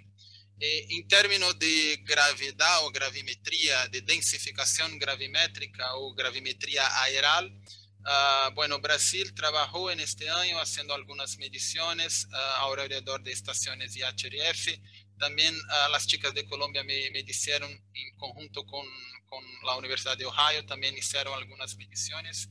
Bueno, esto también es un punto extremadamente importante. Bueno, ahora voy a mostrar las estaciones IHRF para que tengamos una solución o valores de potencial de gravedad o altura de calidad consistente, tenemos que tener gravedad alrededor de la estación. Uh, entonces, esto es importante que los países que, bueno, acá tenemos 19 estaciones distribuidas en, en, América Latina, es importante que los países hagan mediciones o densificaciones gravimétricas alrededor de las estaciones. Creo que la otra diapositiva hay un documento que voy a hablar un poco más de eso.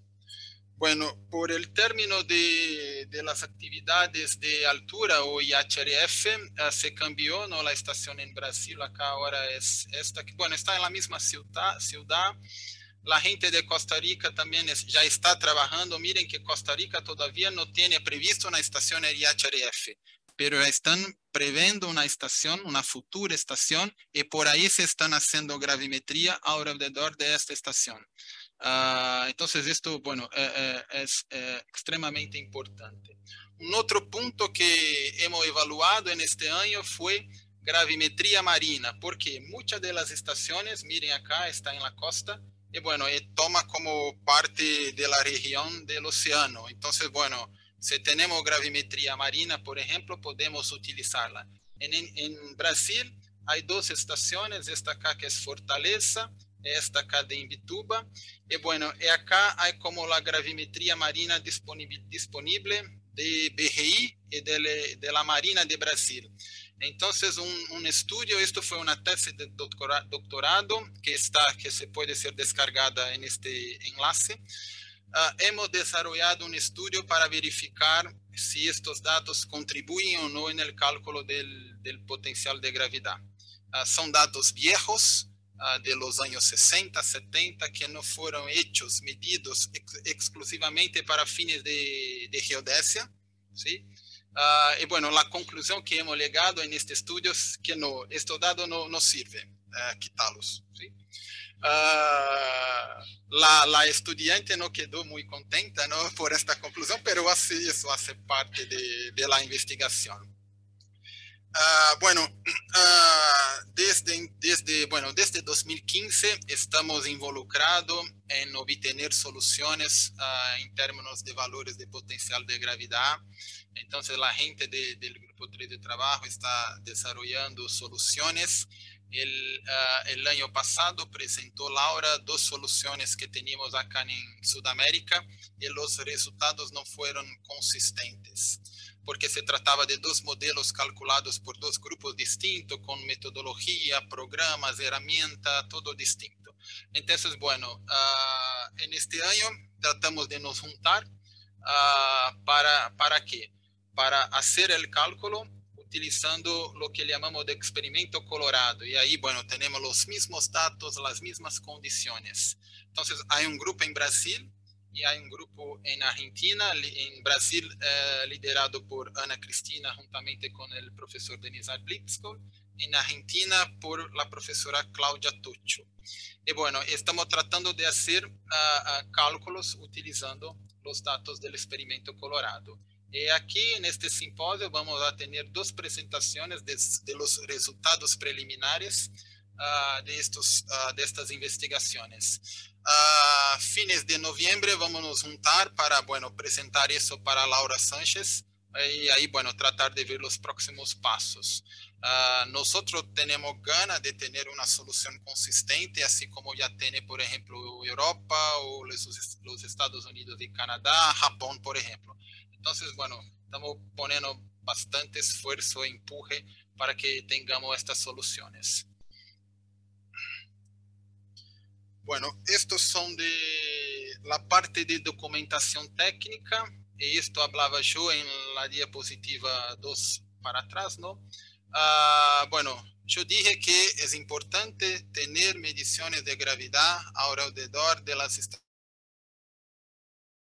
Uh, el grupo de trabajo 3 desarrolló dos guías, una para selección de estaciones IHRF y una otra para mediciones gravimétricas alrededor de las estaciones.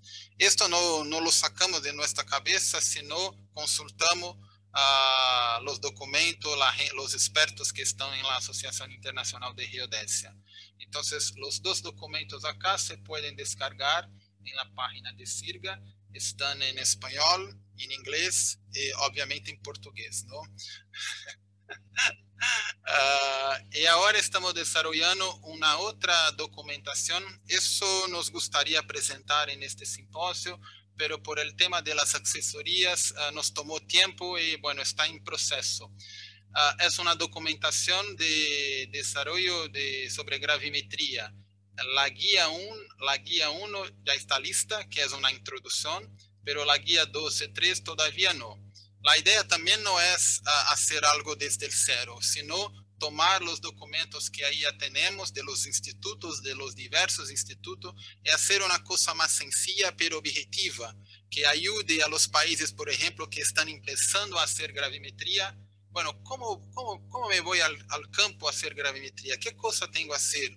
¿No? ¿Qué es la deriva? ¿Por qué tengo que hacer ir de vuelta? La reocupación y todo eso que alguna, algunas personas todavía no tienen el conocimiento.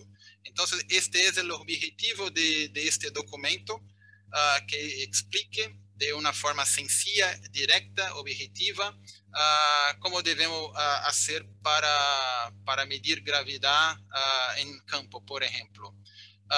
Esperamos, ojalá, que fines del próximo año, año ya tengamos todos los tres documentos listos y de la misma manera en la página de, de Sirgas.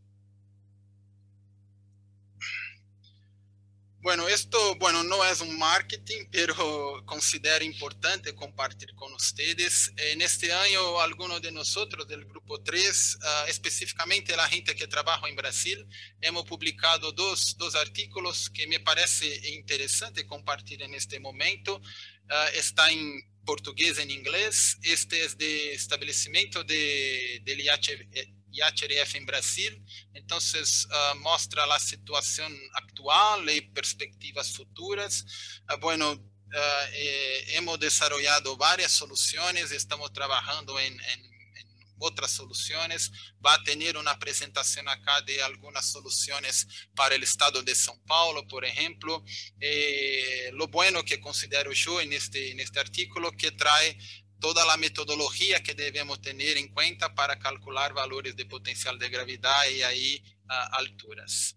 Y a, a derecha, esto está aprobado para publicación. Estábamos esperando que, bueno, uh, todavía no está en el aire, uh, pero ya está aprobado, que, es, que son los esfuerzos uh, de gravedad absoluta que se está haciendo en América Latina. Esto, bueno, debemos mucho al profesor Denis Arblixko, uh, que tiene trabajado en diversos países y ahí se puede ver un poco de, de lo que estamos haciendo en términos de gravedad absoluta en, nuestro, en nuestra región.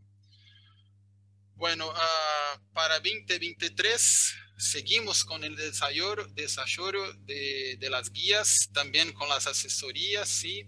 Eh, esperamos medir uh, valores de gravedad absoluta en otros países. Bueno, estamos tratando de, de hacerlo en Uruguay y también con la gente de República Dominicana. Está, bueno, prácticamente listo para que el próximo año se haga en estos dos países. Uh, bueno, seguimos también tratando de participar, de se involucrar en el cálculo de potencial de gravedad para el IHRF. Esto es un, un trabajo abierto. Si algún grupo desea participar, bueno, yo tengo herramienta, conozco la, la, la metodología, me puedo meter a, a, colaborar, a participar con ustedes. Sí, es bienvenido. Uh, en este momento, como uh, yo dije, hay dos grupos, ¿no? uno de Brasil, otro de Argentina, trabajando, pero está abierto. Sí, es siempre, siempre bueno tener más grupos, más personas involucradas y así, bueno, bueno, van a tener más soluciones de comparaciones, pruebas y todo más. Y como uh, adelantó eh, Demian, vamos a tener una escuela del Geoide para, para el próximo año la última que, bueno, que sucedió en América del Sur fue en 2013 en Quito. antes 2009 en La Plata. Yo participé en 2009, era estudiante de maestría y bueno, es una, una escuela maravillosa, se aprende mucho, vienen los profesores de Europa, de los Estados Unidos y bueno, uh, fines de octubre es la fecha tentativa, uh, va a ser en Buenos Aires, conforme mencionó Demian, y ahora estamos, de uh, estamos eh, en el momento de invitar a los profesores a ver si puede con la fecha y todo más. Pero creo que al inicio de, del próximo año vamos a hacer la difusión, la divulgación en las medias sociales de Sirgas. Eh, bueno, me parece que va a ser un, un, bonito, una bonita escuela. Esto es un tema que, bueno, tratamos nosotros del comité ejecutivo. Ahora el simposio Sirgas es a cada dos años. Perfecto, gracias. Uh, bueno, como el próximo año no vamos a tener un simposio SIRGA, bueno, vamos a realizar una escuela, uh, bueno, de determinado tópico, tema, y bueno, por ahí vamos a tener la escuela de Geoide. Entonces, bueno, están invitados a participar uh, de la escuela. Bueno, como comentarios finales, bueno, los logros que presenté acá, yo soy solo el presentador, ¿no? Uh, son debido a los esfuerzos de la gente que está involucrada en el grupo de trabajo 3, de los coordinadores que, bueno, me ayudan mucho. Uh, bueno, esto, estos son los logros del grupo 3 a la gente que, que, está involucrada. Bueno, estamos en una continua colaboración con la IAG, ¿no? con la Asociación Internacional de Geodesia, no solamente por la subcomisión 2.4.b, pero también con el Servicio Internacional de Geoide. La Escuela del Geoide se hace el contacto con el Servicio Internacional para el Geoide, que está en Italia, y también uh, el Servicio Internacional del Campo de Gravedad. ¿sí? Uh, bueno, antes de hablar de que está siempre en todas mis diapositivas, en este año 2022, el grupo de trabajo 3 cumple 25 años, fue creado en 97. Vamos a tener un póster de una estudiante de maestría que va a mostrar toda la evolución uh, del grupo de trabajo 3 y las contribuciones que, bueno, que la gente que participó y sigue participando tiene contribuido al, al CIRGAS. Como yo dije, estos acá siempre están en mis presentaciones porque, bueno, si uh, queremos llegar hacia la realización de IHRF y también del futuro ITRF, es necesario uh, ajustar las redes de nivelación en términos de números potenciales, que los países hagan esta tarea. Como yo dije, ¿no? tres países hasta ahora, Colombia está cerquita de, bueno, de tener soluciones. Uh, otro punto importante, la densificación gravimétrica para el IHRF y bueno, también para el geoide, el cuasi geoide. Me olvidé de mencionar que el modelo de geoide de Sudamérica está disponible como geoide y casi geoide también. Uh, mediciones de gravedad en las estaciones IHRF y también mediciones de gravedad absoluta uh, por el tema de del otro marco, ¿no? del marco de, de, gravedad. Los enlaces GNSS y nivelación son importantes para que, bueno, podamos hacer comparaciones, verificaciones, pruebas en las estaciones IHRF. Y por fin los cruces internacionales, estos hay algunas figuras en otras presentaciones que hizo yo, mostrando cómo debemos trabajar, por qué que es importante todos esos puntos acá hacia el establecimiento de un marco vertical y gravimétrico en nuestro continente, en nuestra región. Uh, bueno, esto es todo. Una vez más, gracias a los coordinadores que están acá, sus contactos. Y bueno, gracias por todo. Muchas gracias.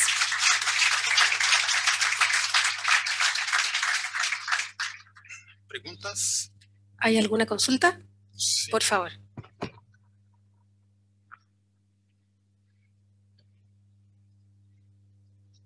Gracias.